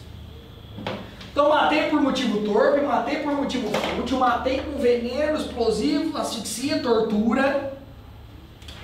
Matei. A traição. Matei a traição, emboscada, dissimulação ou recurso que torne impossível a defesa da vítima. A ideia do nosso legislador aqui foi punir de uma maneira um pouco mais grave quando eu pego a vítima de surpresa, eu não dou oportunidade para ela se defender. Imagina, eu matei o cara dormindo. Pô, esperei dormir para matar. Porra, não dei nenhum tipo de resistência para ela, né? Ou seja, covardia. É a covardia, né? Vou armar uma tocaia, quando ele aparecer, eu dou uma facada nele. Então, se eu impeço ou dificulto a, a, a, a defesa da vítima, o legislador falou, não, esse cara aí merece ter uma pena maior, homicídio qualificado, tá? Pelos meios de execução aqui que não deixaram a vítima se defender. Traição, emboscado, dissimulação. Que mais? Matei para assegurar a execução, a ocultação, a vantagem ou a impunidade do crime. Matei para assegurar a execução de um outro crime. Como assim execução de outro crime? Eu matei o porteiro lá embaixo, matei o porteiro para ter acesso aqui, para furtar as câmeras, furtar todo o equipamento aqui. Perceba, que homicídio é esse que eu pratiquei lá embaixo? Homicídio qualificado. Qual qualificadora? Para garantir a execução de outro crime. Entendeu? Esse é o homicídio qualificado. Eu matei o porteiro para entrar nos apartamentos. Homicídio qualificado para garantir a execução de outro crime.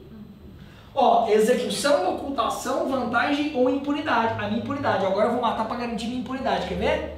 Eu furtei todos os apartamentos, tô saindo todo com as joias aqui. A Jennifer, que é moradora, Ei, quem é você? Ô ladrão! Bom! O que, que é isso? Homicídio qualificado para garantir a impunidade. Entendeu? Matei a única testemunha. Sacou? Então, ó, homicídio qualificado para garantir a execução de outro crime no caso aqui foi para garantir a impunidade. Então, execução, ocultação, vantagem ou impunidade. Tá? Homicídio qualificado. O que mais? Agora vamos falar de três bem importantes para sua prova. Vou até apagar isso aqui. Vamos falar de três qualificadoras importantíssimas do homicídio. A primeira delas, que eu tenho certeza absoluta que vai estar na sua prova.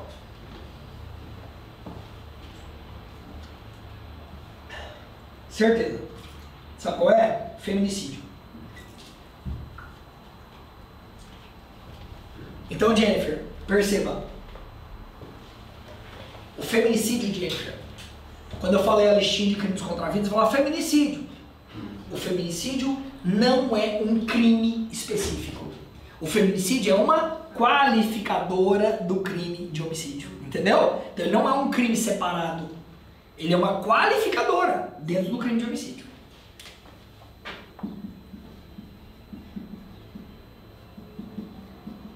Feminicídio. Vamos fazer uma equação aqui.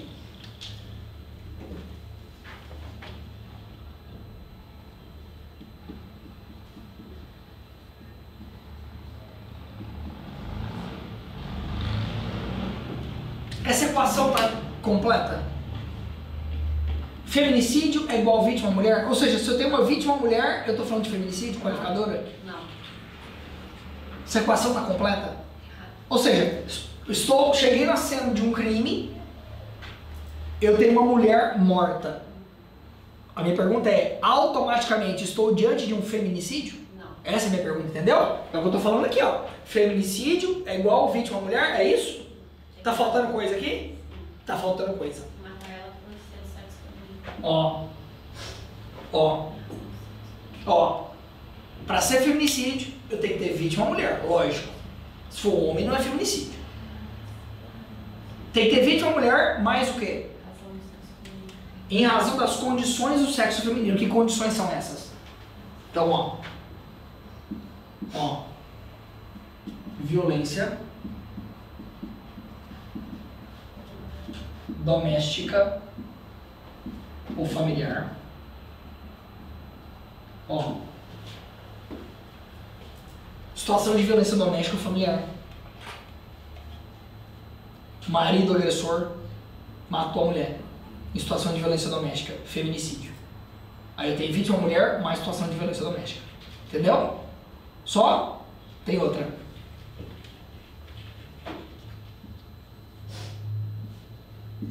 Ou menosprezo ou discriminação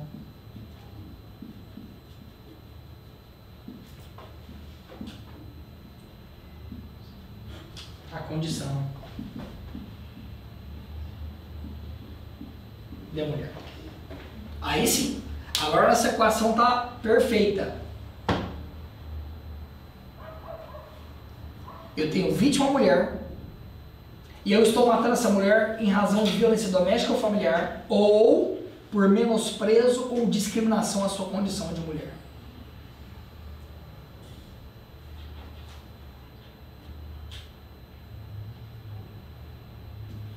Então, se eu estou diante de um homicídio nessas características, esse homicídio ganha o nome de feminicídio.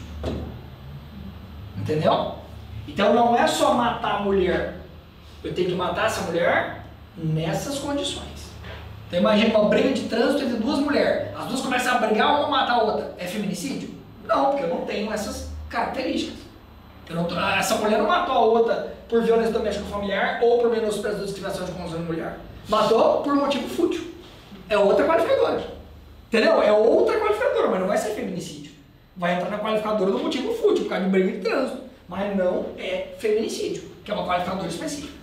Tá? Vamos para outra qualificadora importante. Ligada à polícia. Por que é ligada à polícia? E por que pode cair na sua prova? Porque nós temos um homicídio praticado contra policiais.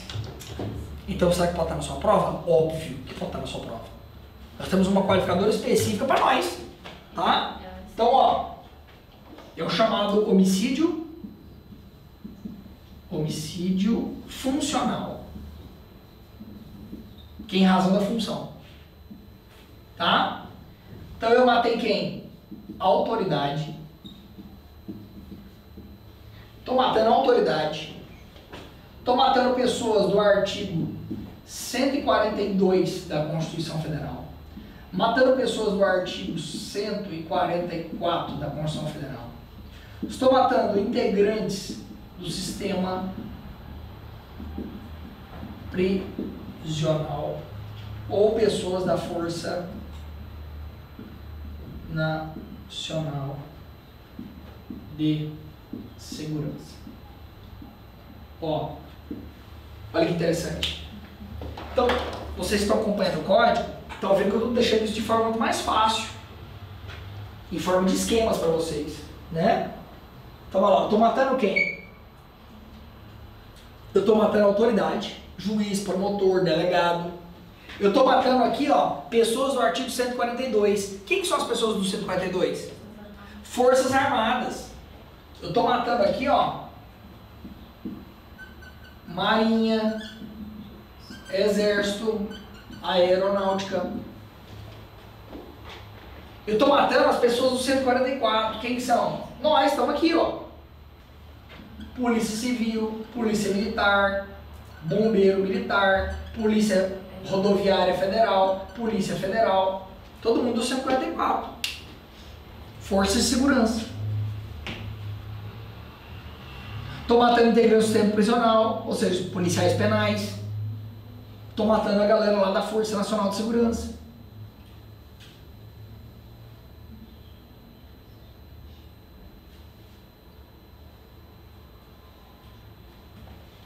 Então pode cair na sua prova por quê? Porque a polícia está aqui, está fazendo concurso para a polícia. Pô, o cara está matando um policial. Então é óbvio que você tem que saber. E é óbvio que pode cair na sua prova. Você está fazendo concurso para a polícia e o cara está matando um policial. Então você tem que saber o que está acontecendo aqui. Grau, né? É, no calma, vou chegar lá. Tá tendo por partes. Mas boa, é isso aí. Ótimo. Então vamos lá. Tô matando autoridade, tô matando o cara da marinha, tô matando um policial militar, tô matando o cara do sistema prisional, tô matando o cara da Força Nacional de Segurança. Basta isso para entrar na qualificadora? Basta isso para entrar na qualificadora? Ó, vou até botar aqui, homicídio funcional. Funcional. É igual a isso? Basta isso? Matei um juiz, já entra na qualificadora? Matei um policial, já entra na qualificadora? Só porque ele é policial? Não. Aqui, é- aqui é igualzinho no feminicídio. Só porque matou mulher é feminicídio? Não. Precisa de um motivo, não precisa? Aqui é a mesma coisa. Tá? Então, ó, matei essas pessoas, mais o quê? Em razão da isso, em razão da função. Ou ou durante o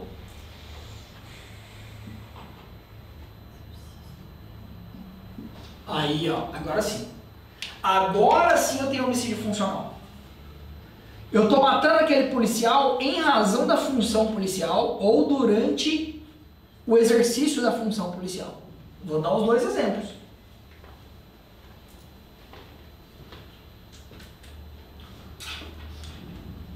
Fala pra mim se isso aqui é homicídio funcional, ó.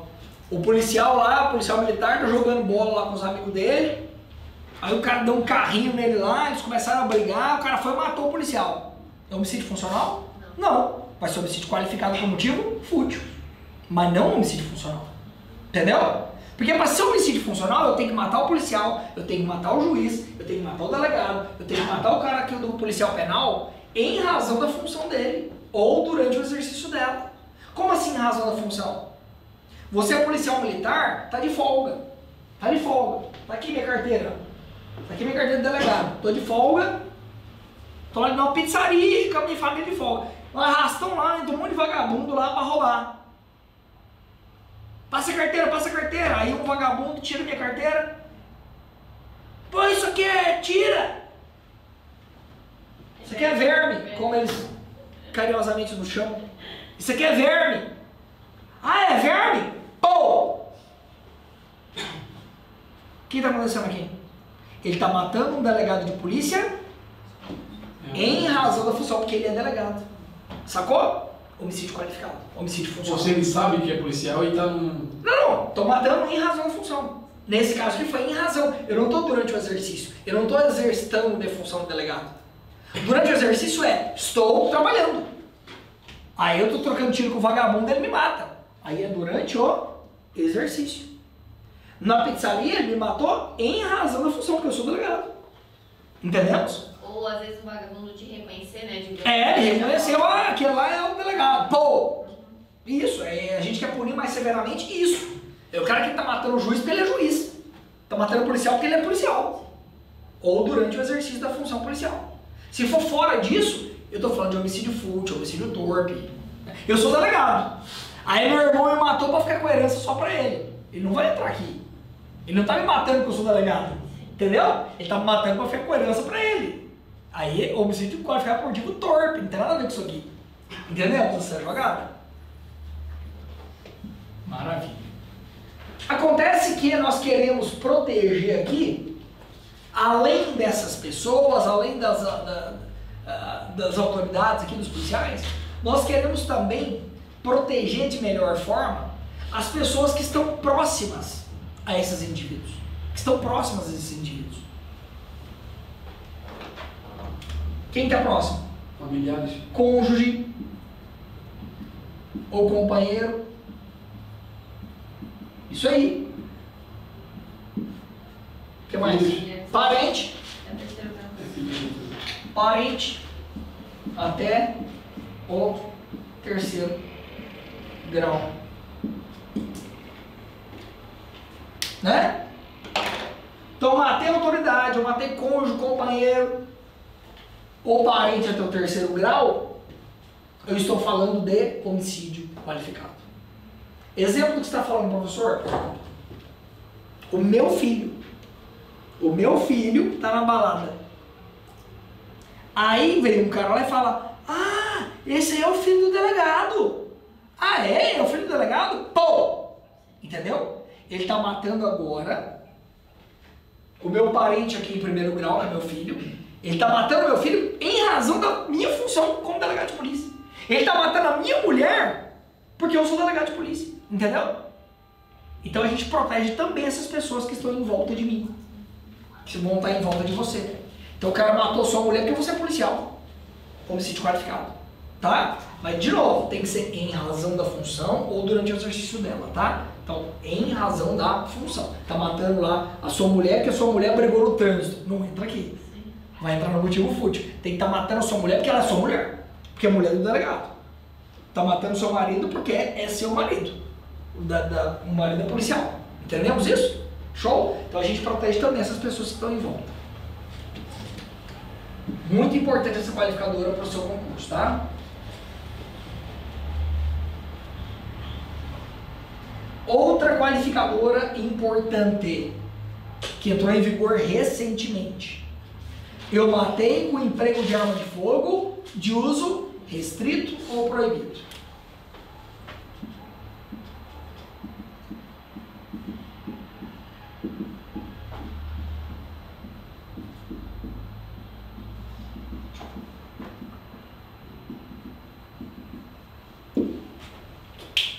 Matei com arma de fogo de uso restrito ou proibido.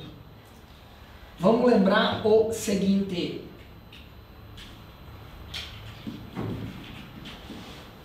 São três tipos de arma, né? De fogo, né? São três tipos de arma de fogo? Arma de fogo de uso e arma de fogo de uso permitido, arma de fogo de uso restrito, arma de fogo de uso proibido. Permitido, restrito e proibido. Uma outra norma vai nos dizer quais são as armas de fogo de uso permitido, restrito e proibido. Ok? O nosso legislador considerou como homicídio qualificado aquele homicídio praticado com arma de fogo de uso restrito ou proibido. E a arma de fogo de uso permitido?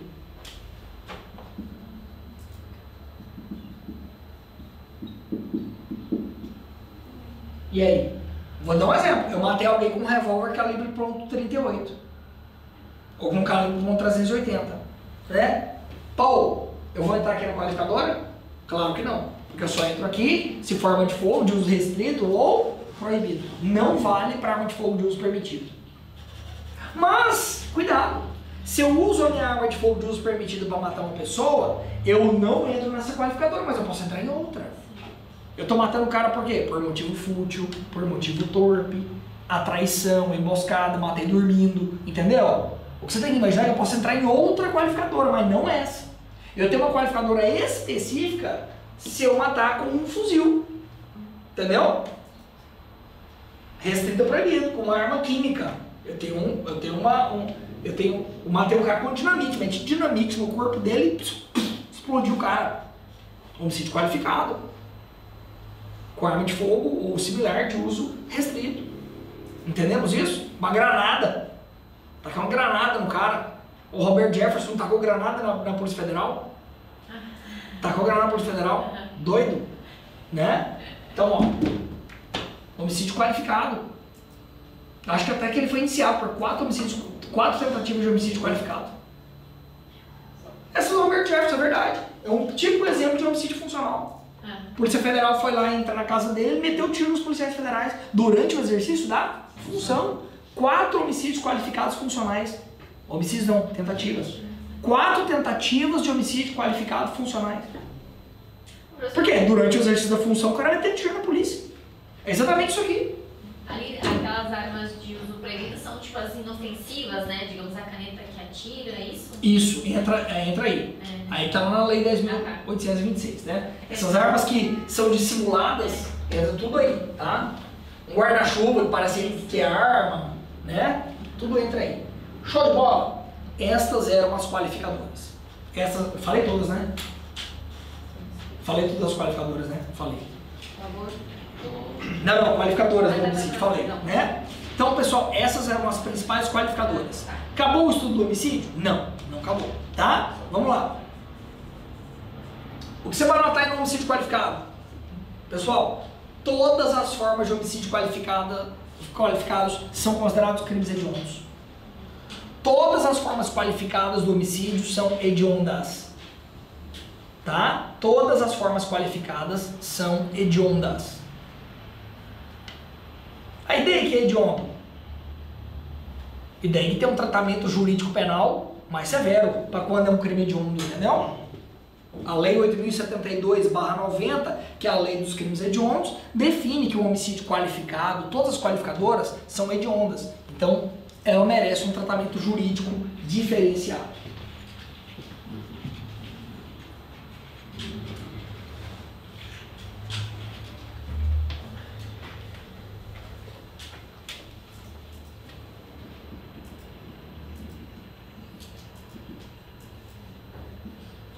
Homicídio culposo. Pessoal, homicídio culposo é aquele que eu vou matar o cara por imprudência, negligência ou imperícia. Já falamos disso. Imprudência, negligência e imperícia, homicídio culposo. Tá? Detalhe, tá? Eu tenho um homicídio culposo especial. Onde? No Código de Trânsito Brasileiro. Tá? Então, esse homicídio culposo praticado na direção de veículo automotor, eu não aplico o Código Penal. Eu aplico o Código de Trânsito, inclusive lá a pena é maior. Então, a gente considera que é mais grave matar alguém culposamente no trânsito do que qualquer outro tipo de homicídio culposo. É, é só culposo, né? No, no trânsito. Isso, é só culposo. Se for doloso, é Código Penal. É. Tô com o meu carro aqui. Ah lá, ele quer matar. É, matei. Homicídio doloso. Aí eu venho para homicídio qualificado aqui. A traição, emboscada, entendeu? Esse do Código de Trânsito é só culposo, só sem querer, mata o cara sem querer, tá? Então, lembra que eu tenho um homicídio culposo específico, que é um homicídio culposo no Código de Trânsito Brasileiro. Tirando o Código de Trânsito, eu venho para o Código Penal, tá? Então eu tenho um específico lá no CTB. Específico. Então, então homicídio qualificado, é um homicídio específico lá no CTB, homicídio culposo. Detalhe do homicídio culposo bem interessante. Perdão judicial. Presta atenção. Aqui no homicídio culposo nós temos uma regra interessante, que é a seguinte. Imagine você agora que o resultado dessa infração penal, o resultado da minha conduta, ele vai me abalar de forma tão grave, mas tão grave, que o juiz vai olhar para mim e falar, meu, nem merece pena, porque o cara tá, ele já tá penado, pro resto da vida não merece pena. Exatamente. Imagina um homicídio culposo onde o pai ou a mãe esqueceu o filho dentro do carro. Já viu esses casos? Esqueceu o filho dentro do carro e aí quando volta o menino tá morto dentro do carro. A família entra em desespero, porque o pai tinha esquecido, a mãe esqueceu o filho, o menino morreu sufocado, alguma coisa assim. O pai entra em depressão, todo fudido. Ele praticou homicídio culposo, sem querer. O juiz olha pra ele e fala, meu, esse cara merece pra cadeia? Ele, será que ele já não tá apenado o suficiente? Entendeu?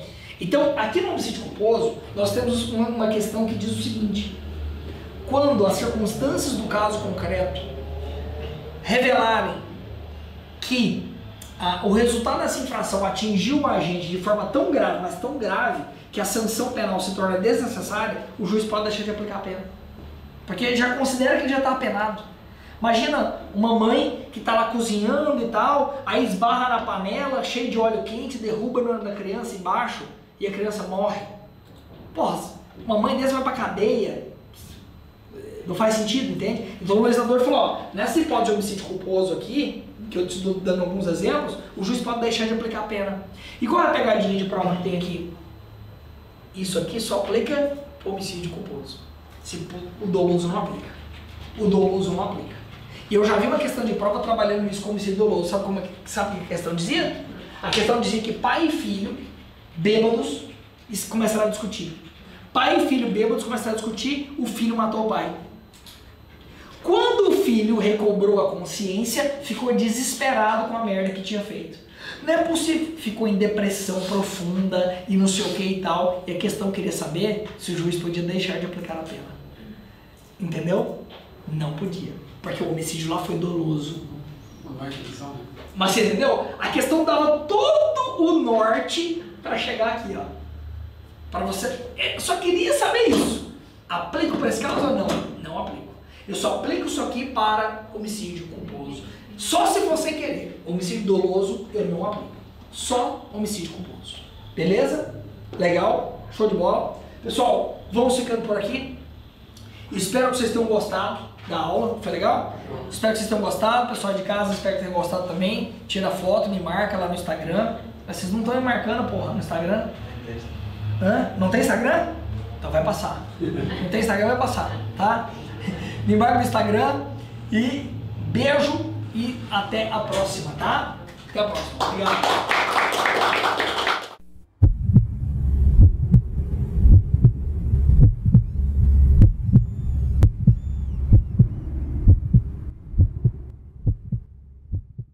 Fala pessoal, aqui quem fala é o Fábio Macedo, primeiro colocado no último concurso da Polícia Rodoviária Federal para o estado do Rio Grande do Sul. Nessa trajetória até aprovação, contei muito com a ajuda do curso Ronaldo Bandeira, conto com excelentes professores, excelentes profissionais é, que me ajudaram nessa, é, nessa trajetória aí. É, eu fui da primeira turma do, do curso Ronaldo Bandeira, eu tenho orgulho de dizer isso.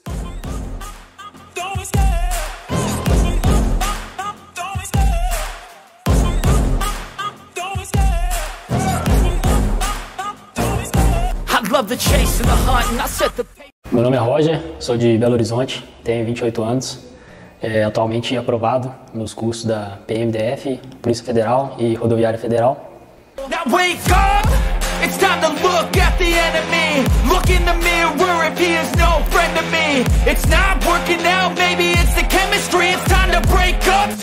Fala galera, beleza? Sou o Jefferson Mangue aqui, sou o terceiro colocado do concurso 2021 da PRF. All it takes is some time and some clarity to find your identity. It's mind over everything.